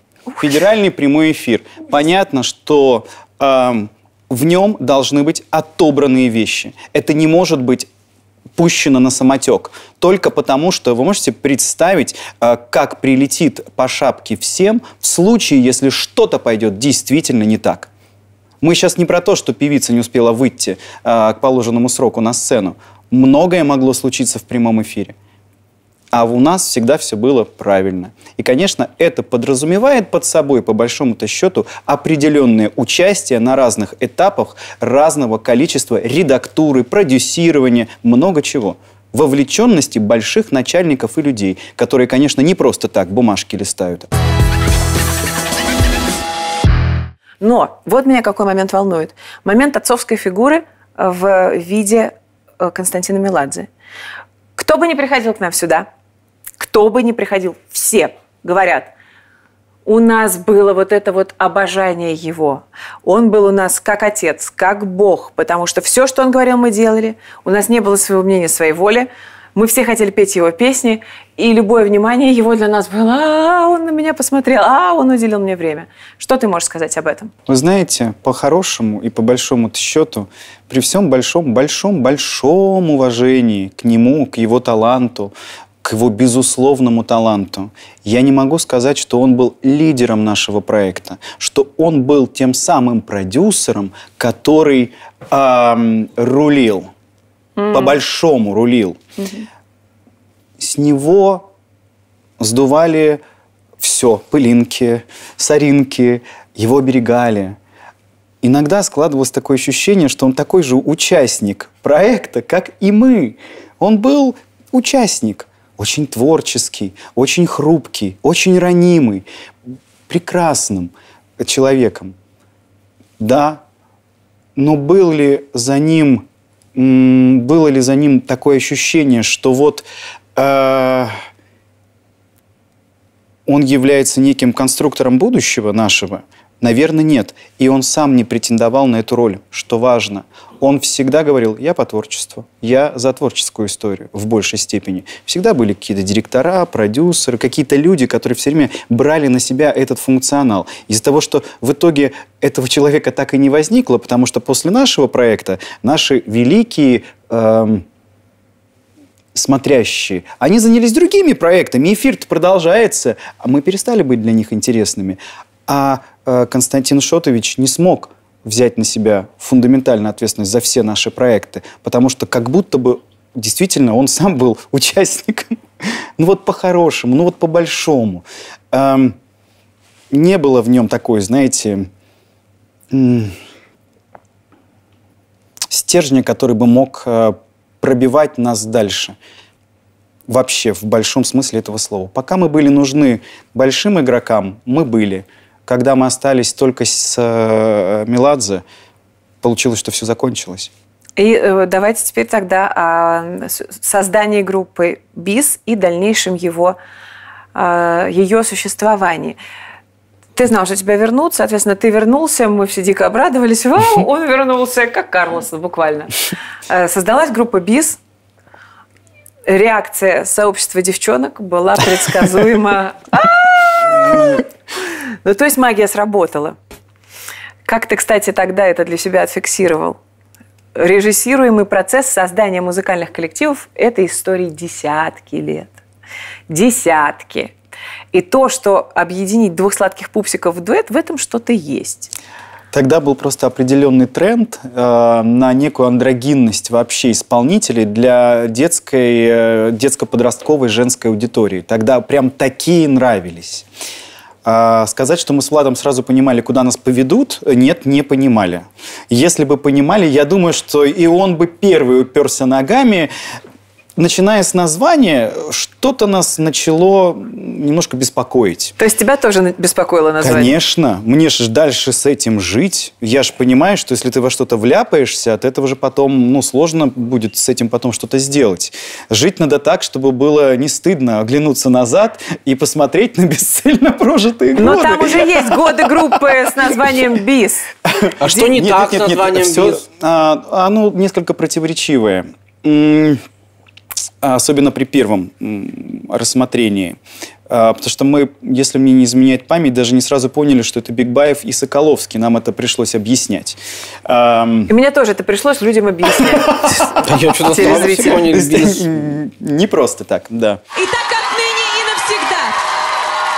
При содействии Константина Меладзе, крестного отца этого коллектива, на свет появилась настоящая группа, новая единица в шоу-бизнесе. Группа БИС, что в переводе на русский означает Бигбаев и Соколовский.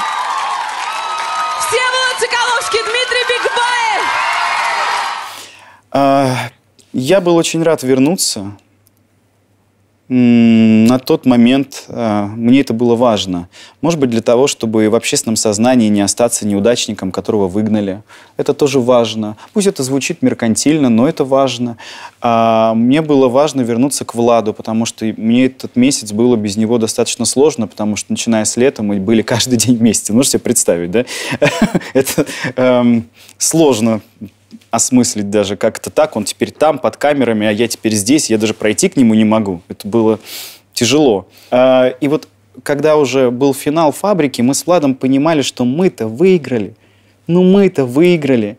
Мы понимали, что за нами есть финансовый ресурс в виде а, пластинины, которая уже оплачивала создание клипа и, соответственно, продвижение этого клипа, первого клипа «Твой или ничей». Ну, И с то есть таким Кира ресурсом- Пластинина дизайнер имеется в виду, Да. и Ну, э, папа, который, собственно, был э, Да, достаточно и ее бренд, состоятельным человеком. и вас, да. И мы понимали, что с ресурсом Киры Пластиной мы становимся действительно такой э, на лидирующих позициях, потому что часть нашего тура тоже была оплачена за счет э, Киры Пластининой, потому что мы в каждом из городов, если там был ее магазин, мы там работали. Тем не менее, да, мы понимали, что мы входим в будущее. Я, во всяком случае, понимал, я думаю, и Влад понимал.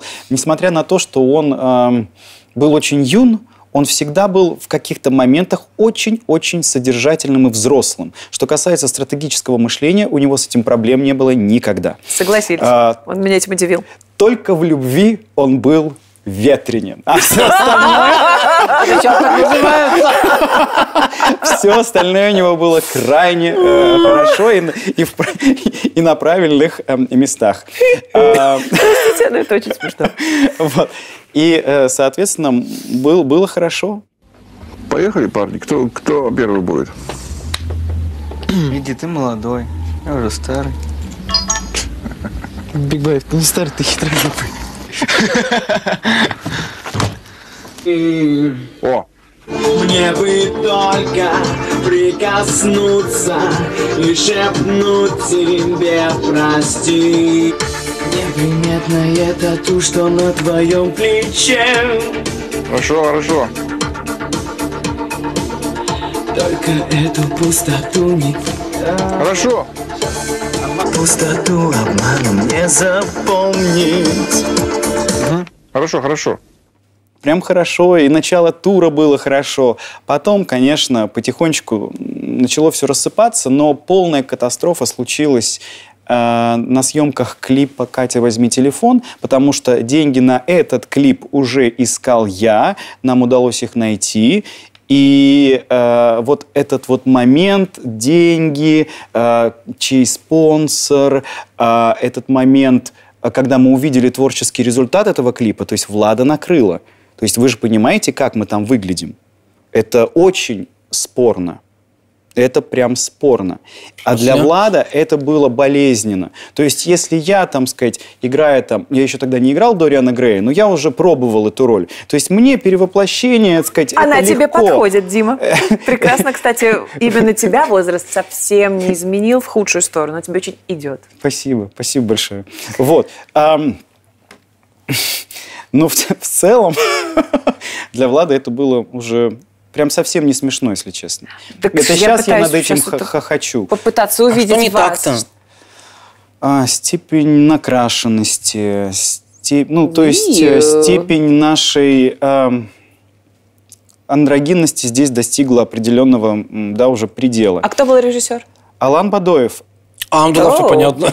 Нет, ну, смотрите, понимаете, многие же не осознают, что это не мы, что э- этот творческий результат – это не наше желание, это не наше видение. Здесь мы были действительно артистами. Здесь мера моей ответственности была найти деньги на этот клип. А все остальное, все занимались другие. Ну, вот. И потом, Меня, кстати, мы- ничего не смутило. Здесь Меня вы, вы вообще- роботы. Вы мальчики, сладкие роботы. Что такое Я думаю, что больше часть населения смутило бы как Вы, минимум розовая футболочка вот эти- на одном из солистов и открытое плечико на другом артисте. Ой. А ярко крашеные волосы и очевидно крашеное лицо. Ну, простите, Друзья, это год какой? Это, Седьмой. поймите, О, восьмой, Нет. девятый. давайте откровенно, опять же. Ну, мы при всем уважении э, к э, европейской части нашей страны, есть и другие части нашей страны, это неотъемлемые ее части. И все вместе это общая культура. Э, Она такая, какая она есть, так сложилось исторически. И для России это было очень спорно. Ну, согласились. Сейчас я Так. что-то пересматриваю. Нет, я не Я согласен. Видел, душно стало. а, когда мы выступали вместе с Валерием Меладзе на концерте, поклонники Валерия Меладзе кричали из портера, «Валера, отойди от них, что ты делаешь?» То есть, чтобы вы понимали, реальный отклик населения был странный. Я, например, на тот момент ездил на метро. Вы не представляете, как это было страшно, когда подходили, говорили, это что, ты поешь? Ну, то есть, ну, все серьезно. При этом ам, песня стала радийным хитом, потому что по аудиальному набору она, конечно, сказать, э, была идеальна. При этом она не получила ни одной премии, ни одной награды, а, ни за визуальную составляющую, ни за аудиальную составляющую. Ну вот, э, вот здесь начались большие проблемы, потому что Влад, я так предполагаю, а, начал, э, начал прям защищаться от всего того, что связывает с этим брендом БИС. Оу, как интересно. То есть Катя, возьми телефон. Один из главных хитов группы – это фактически начало конца. Да, это начало конца. Клип, не песня. Я поняла. Потому что когда песня, мы были на гастролях в Израиле, как сейчас помню. Нам отправляют сначала текст, там был плохой интернет. Мы увидели текст, мы подумали, что это ошибка какая-то. Но представляете, текст. Катя, возьми телефон, это он, это он звонит. И дальше это повторяется. То есть это- то Дим, самые лучшие вещи, самые Вот и весь простые. припев. Да. Там еще было, но в тексте этого не было. Да. Потом мы, когда услышали, конечно, да, мы сразу все поняли, когда мы услышали уже аранжировку. И в целом, до момента «Катя, возьми телефон», конечно, с Владом были какие-то легкие разногласия. Он очень его задевало то, что я во время интервью говорю все время, ему не дает говорить. Хотя я я как-то пытался и вывести на то, чтобы и ведущие ему задали вопрос, но я просто, наверное, я виноват. Надо было быть постарше и все-таки как-то вот ему давать себя чувствовать в интервью как-то себя более комфортно, потому что для него это просто, мы с ним даже подрались один раз из-за То есть? этого, из-за того, что я что-то не то сказал во время интервью. Вы били друг друга. хорошо, что мы, мы их порознь пригласили. Да, это хоро- у меня была мысль, конечно, их объединить, но потом я поняла, что это будет бред дичайший, потому что настолько по-разному, по разным вселенным эти звезды уже, эти планеты функционируют, что нет, нет, сажайте А их вы вообще диван. согласились сейчас вместе прийти на интервью? Нам предлагали, но я хожу на интервью за бесплатно, но я так понимаю, что там был какой-то финансовый момент и не договорились с другой стороной. Ну, я думаю, что к нам тоже приходили все бесплатно. Вообще, у меня нет денег на гонорары участникам, нету. Я на зарплату-то еле, как это, на продакшн все уходит. И то, что мы на рекламе зарабатываем. Но мне, кстати, иногда предлагают много денег за участие в тех или иных программах. Я вот еще ни разу не согласился. Я всегда отказываю. Давайте к моменту периода распада группы БИС. Как ты понял, что все заканчивается? Как каким это было лично для тебя? Все заканчивается. Ну, э, эм, мне действительно было э, в какой-то момент внутри коллектива невероятно тяжело эмоционально. Э, Вот тот образ, который мы уже затронули, что ты как бедный родственник из семьи, из богатой семьи, у них они в достатке, а ты, в общем-то, как-то вот. Я в какой-то момент уже не мог э, мириться с этой ролью, а, тем более, что я понимал, что в театре потихонечку уже набирают обороты там, возможности, э, возможные спектакли, все как бы хорошо. Ам, Здесь было две задачи. Ну, во-первых, вырваться без последствий из э, этого а, из этой конструкции, в которой есть, э, так сказать, э, Влад. Э, Причем, опять же, повторюсь, я его ни в чем не виню. Мы с ним помирились, хотя мы с ним и не ругались. Но, в общем, мы с ним в прекрасных сейчас отношениях. Эм, Но я понимал, что вокруг него целая инфраструктура, а самое важное – это его люди, и они все заряжены на то, чтобы его сделать сольным артистом и звездой. И я здесь был не нужен вообще. В этой конструкции. Тем более, что уже даже участники группы X-Миссия публично обвиняли меня во всем том плохом, что а, было с группой БИС, что якобы это я виноват в том, что а, к нам неоднозначное отношение, в том числе в шоу-бизнесе.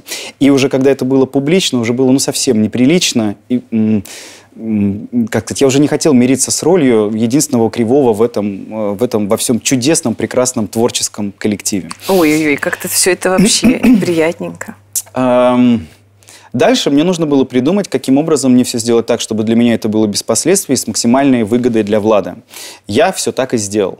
Я уже не помню, э, как было на самом деле и в конкретной последовательности событий, но по, по итогу Костя э, э, отпустил меня, с миром. А, нет, я выкрал свой контракт, э, да, я его выкрал и сжег его. Но мне кажется, да. э, А помните, рядом со Останкино был пруд? То он там Я- до сих пор Сейчас- есть. Да, да, да, да, да. Но сейчас его облагородили, он такой прекрасный. А тогда он был я похож выкрал на лужу. контракт, вышел, поджег его и пустил по этому контракт с Первым каналом, да. Э, Это прям удивительное ощущение. А, то есть я понимал- Люди мечтают о контракте с Первым каналом, а он уже не был счастлив. Это очень красиво, я это не могу перестать визуализировать, как он в рапиде Как в плывет и сгорает. Да, да, и камера отъезжает, такая титры.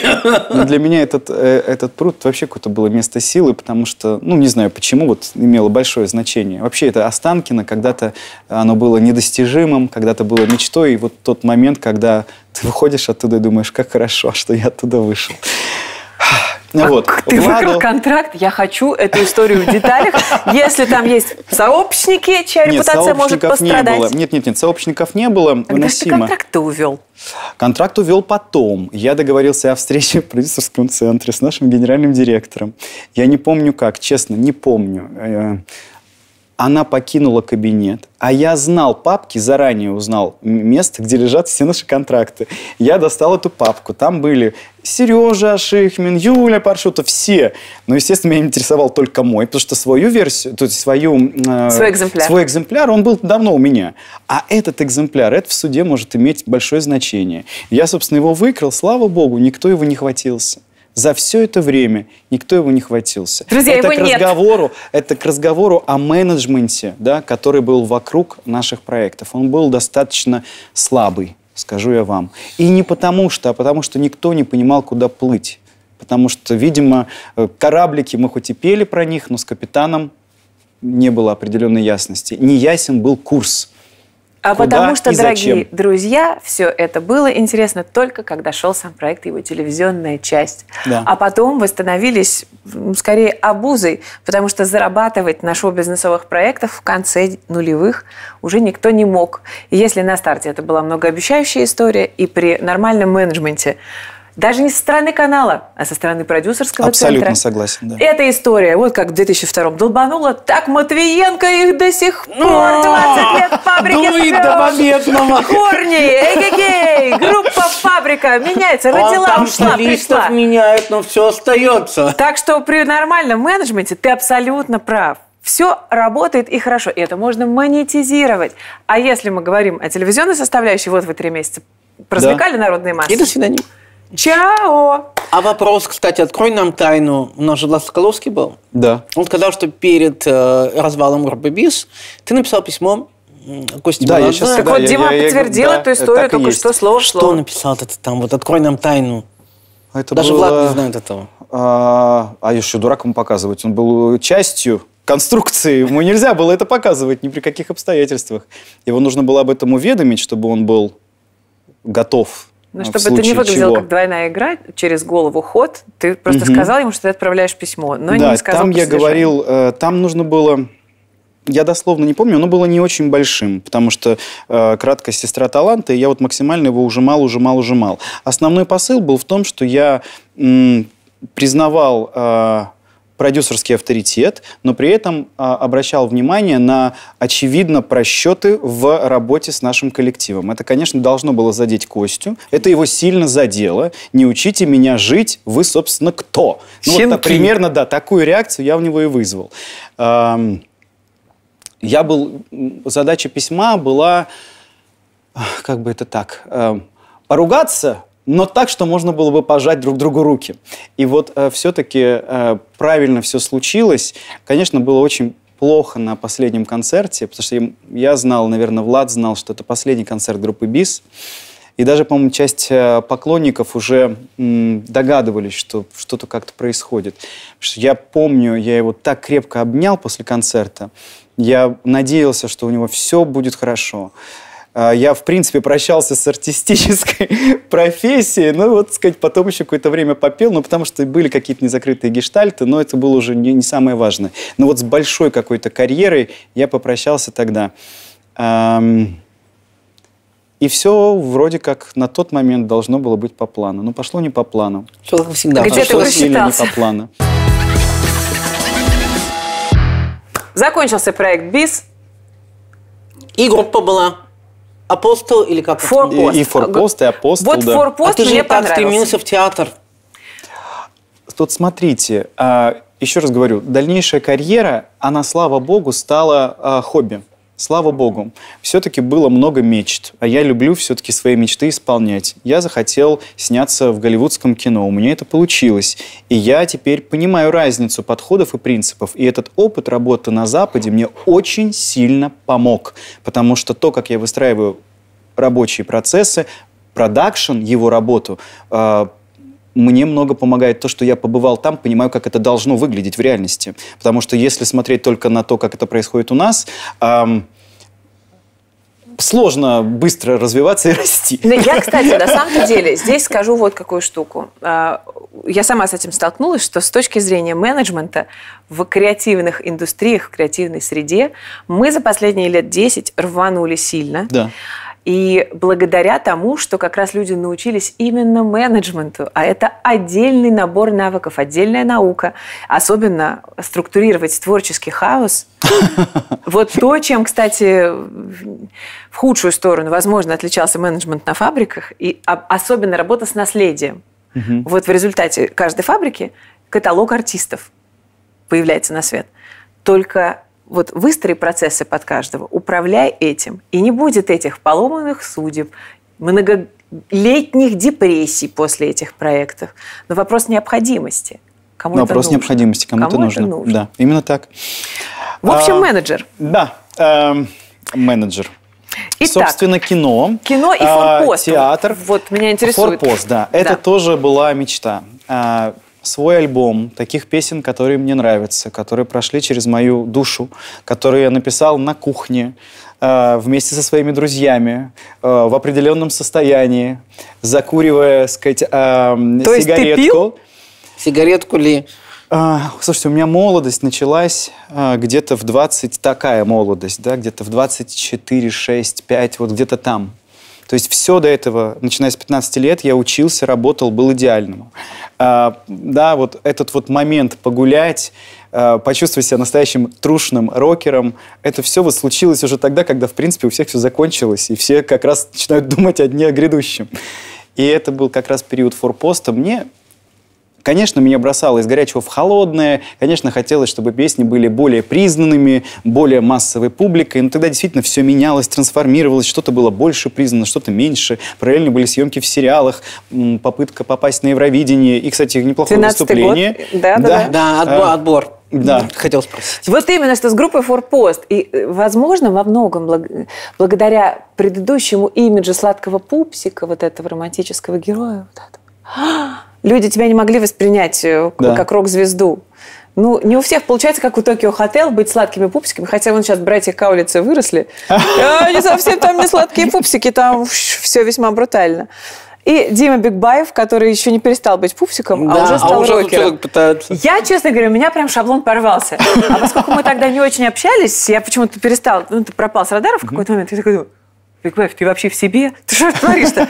Но, а с другой стороны, было дико интересно, как тебя, кто с тобой это сделал. Оказывается, сам. Да, я всегда слушал такую музыку, всегда мечтал. Я помню тот момент, когда все завершилось. Это был, э, это был конкретно написанный альбом, действительно глубинно прочувствованных песен, за которые не стыдно, когда твоя песня, она действительно твоя. Она в музыке отражает твой внутренний мир. И вот таких песен было написано на альбом. Когда рядом с тобой не просто сессионные музыканты, а твои друзья, с которыми вы хватанули кучу всего, и хорошего, и плохого разного, но вы вместе. Было большое выступление, это был день города в Пятигорске, это вот гора, куча, тысячи людей.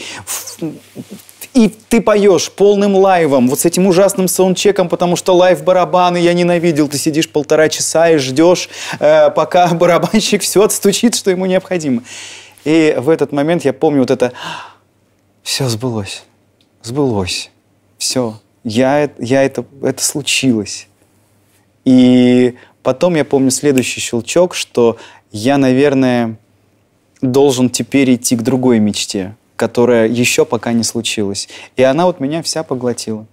Это театр. Театр, абсолютно точно. Слушай-ка, а зачем же вы тогда понеслись на Евровидение? Это еще 12-й год? Слушайте, а, объясню. Давай. Еще раз, педагоги на фабрике звезд настолько устойчиво вложили м, и в- к редакторам эту мысль, и к Ко- Константину Шотовичу эту мысль, что я плохо пою, не умею петь, вот что-то такое. И огромное количество времени и сил в моей музыкальной карьере мне ушло прежде всего у меня самого, для самого себя, чтобы доказать самому себе, что я умею петь. И когда это был прямой эфир, отбор на Евровидение, хотя я, поверьте, был с, не в самой лучшей своей вокальной форме, потому что у меня перед этим была премьера в театре, ровно за день до. Голос был сорванный, но я все равно вышел и спел. Это ты? Да. Атас, да? Я не сразу понял. И спел я, надо сказать, неплохо. Ну-ка, ну-ка.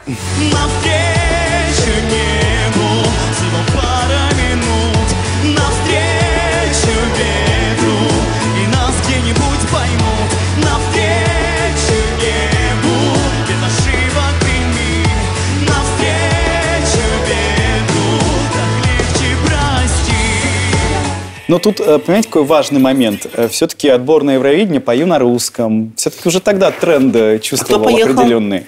Когда 12-й поехали год? Бурановские бабушки, А, все были точно. счастливы, потому что это было дико удивительное действо. Да. А, потому что был Дима Билан с Юлией Волковой, был Тимати с какой-то вокальной Один из дивой. самых странных ра- э, отборов на Евровидение вообще во всей И истории. все просто дико радовались, что поехали бабушки. С Гарифулиной. А, Тимати да, да, да, да, да, да, да, да, да.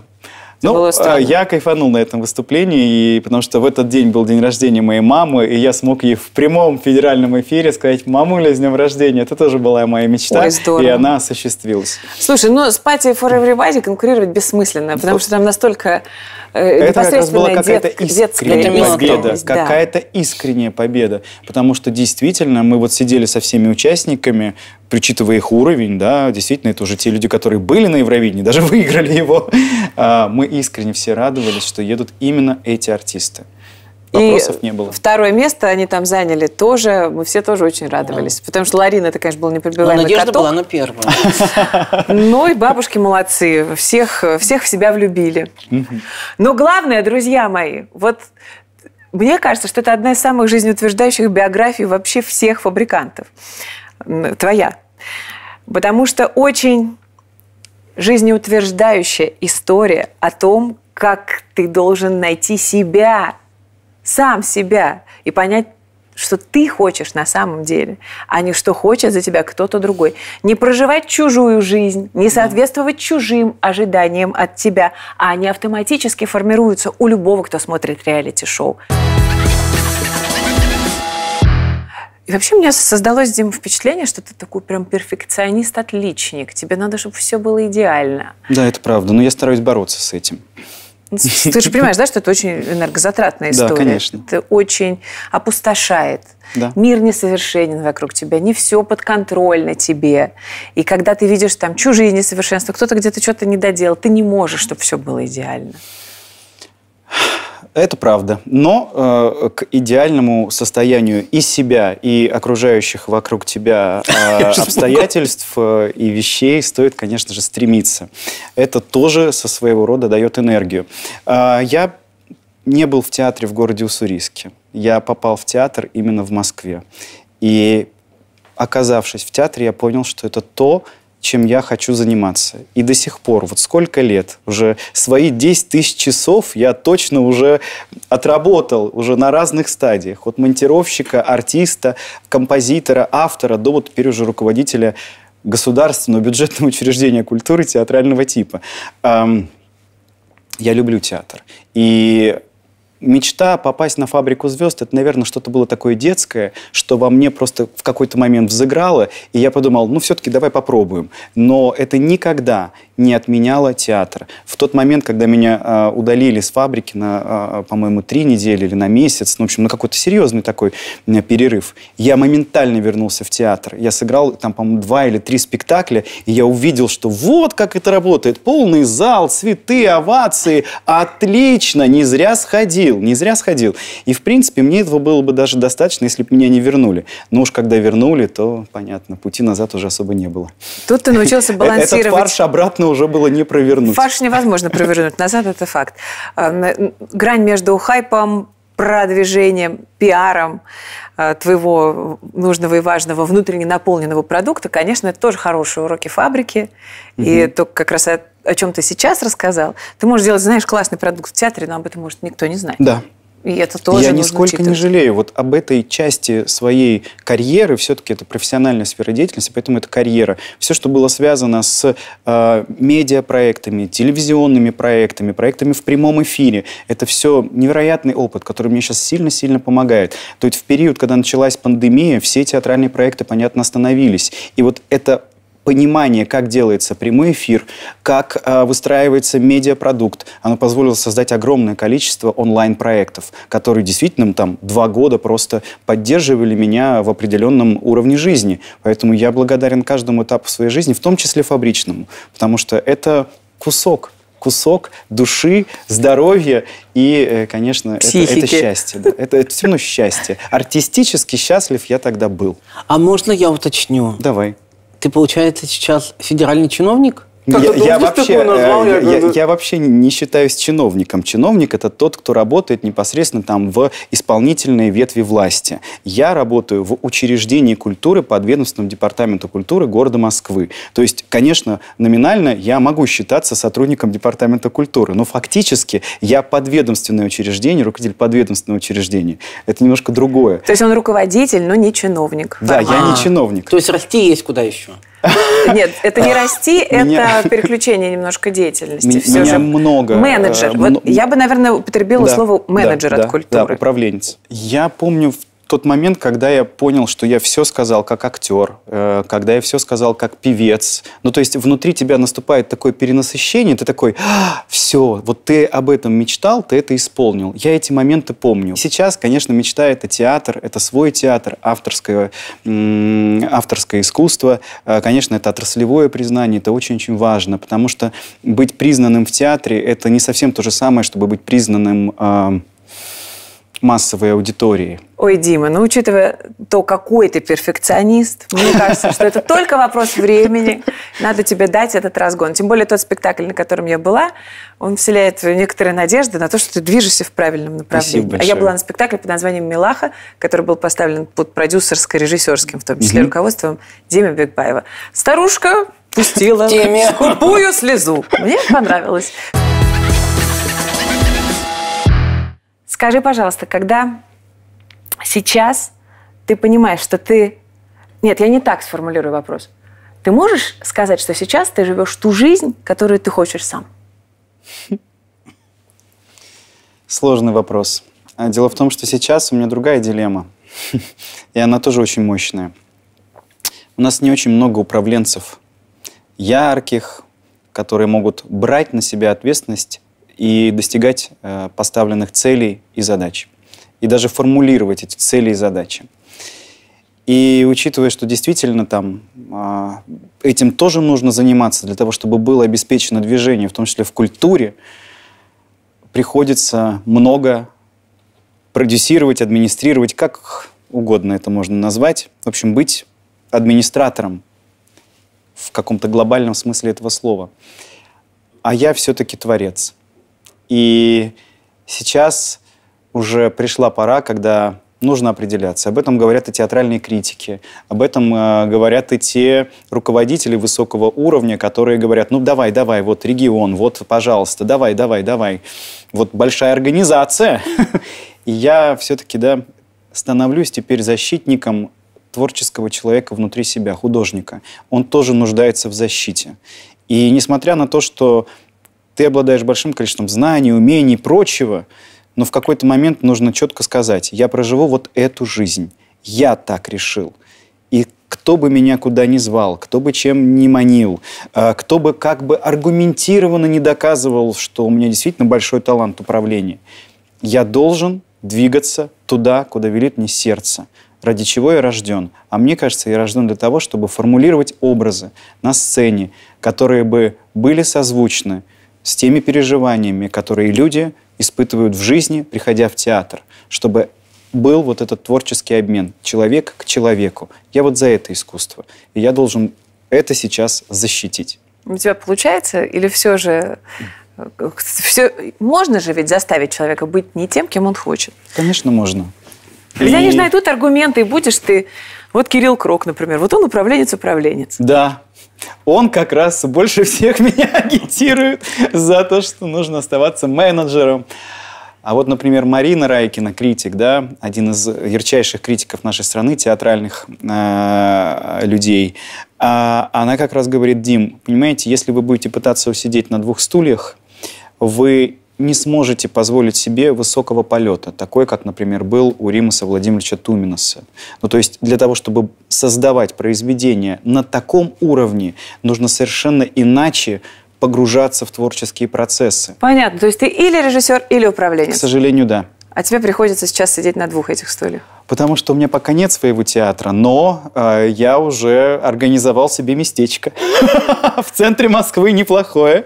И, Новый э, манеж. На мне еще висит такая серьезная ответственность за все э, частные инициативы э, в сфере, э, в театральной сфере в городе Москва. И э, я эту лямку тоже тяну, потому что быть частным театром в нашем городе пока сложно. И я должен предпринимать определенные шаги и действия, убеждать, защищать интересы частного сектора э, в креативных индустриях, которые занимаются театром, для того, чтобы все стало получше. Господи, я вот сейчас на тебя смотрю, и у меня прям два Бигбаева. Ты знаешь, немножечко сцена, господи, это, это был голым, вот это вот, его диалог с кольцом. Вот это нет.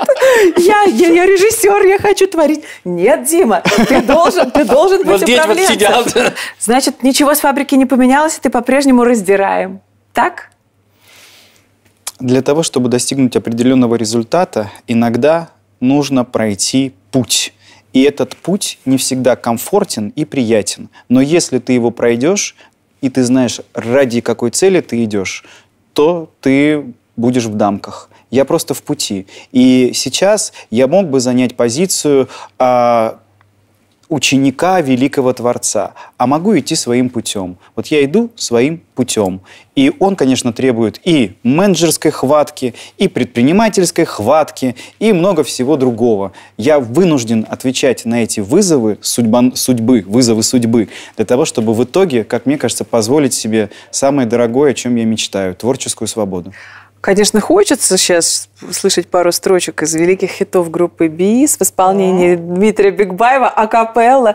Я уверена, что за мной стоит огромная армия, господи, как они там назывались? Биг, Бигбайкеры. Биг, бигбайкерши. Девчули, давайте направим сейчас энергию на Дмитрия, и он нам сейчас Если споет вы не возражаете, строки. я, я, эм, я бы хотел спеть песню, за которую я действительно очень благодарен этому проекту. А в ней был попал? такой номер, такой номер, который, ну, не должен был выглядеть самым крутым. Мы сегодня разобрались, почему. Но сама песня, как мне кажется, она очень крутая. Я дико волновался, когда я ее записывал. У меня в руках была икона. То есть я настолько волновался, настолько я был уже тогда э, в эмоциональных э, таких э, серьезных перепадах, что нужно было вера во что-то большее, чтобы найти эти силы.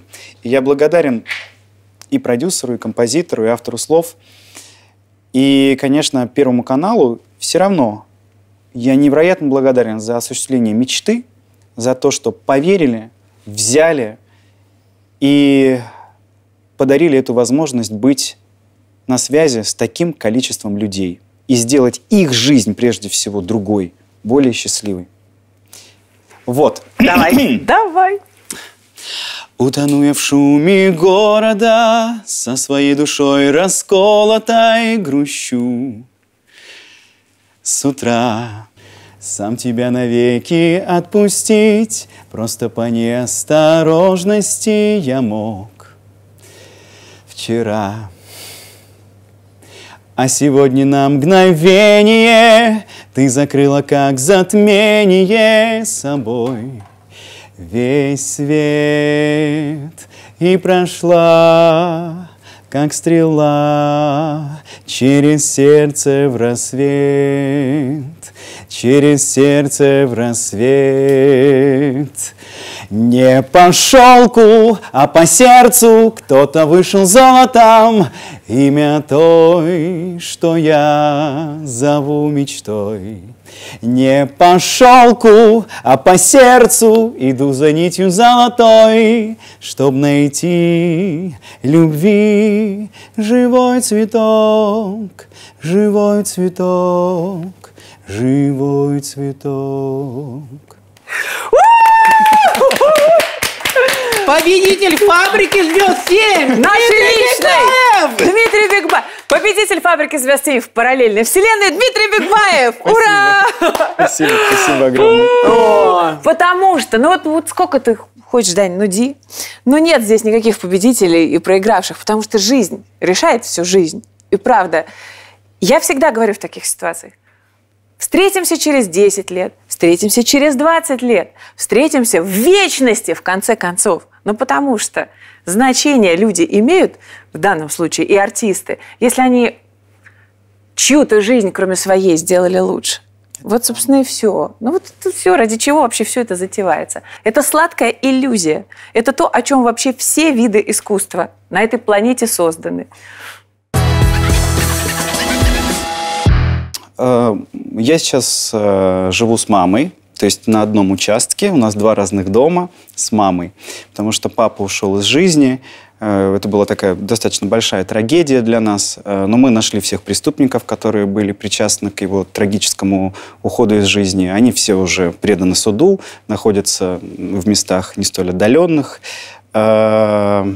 Такая достаточно болезненная для меня тема, потому что папу я очень любил, это был главный человек в моей жизни. Это случилось, я не считаю года, какое-то количество лет назад. Э, Это случилось 31 декабря. И я теперь не очень люблю всю эту предновогоднюю суету. Вот. Ой.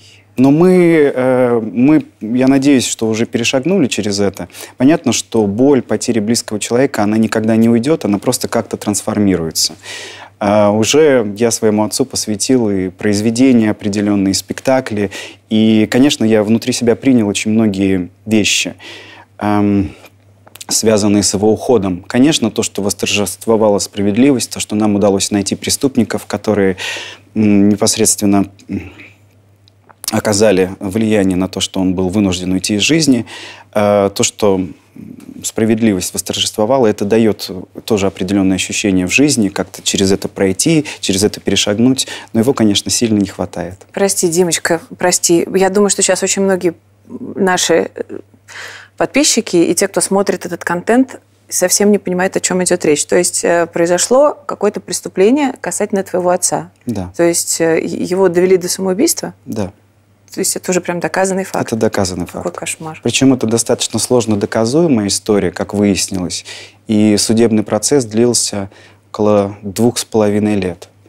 Это все время были сначала очные ставки, допросы, встречи с э, следователем, потом суд, когда ты видишь этих людей, и ты должен э, говорить, э, как, э, как оно было, подтверждать свои показания. Все это было так очень, очень, очень тяжело морально.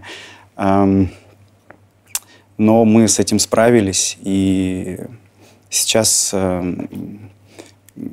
сейчас уже проще. Хотя, конечно, не- это уже никогда не будет просто, потому что папа был очень творческим человеком, хоть был и бизнесменом тоже, и он неплохо выстроил э, бизнес в Москве, несмотря на то, что мы действительно начинали с нуля здесь все.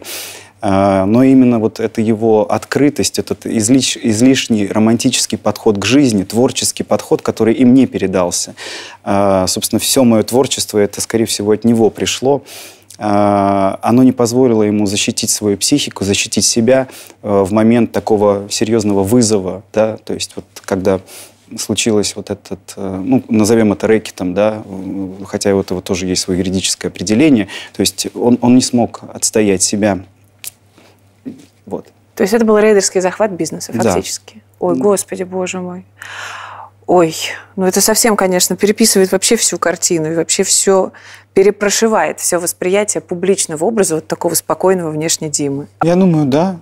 Мне очень жаль, что он много чего не увидел и не увидит.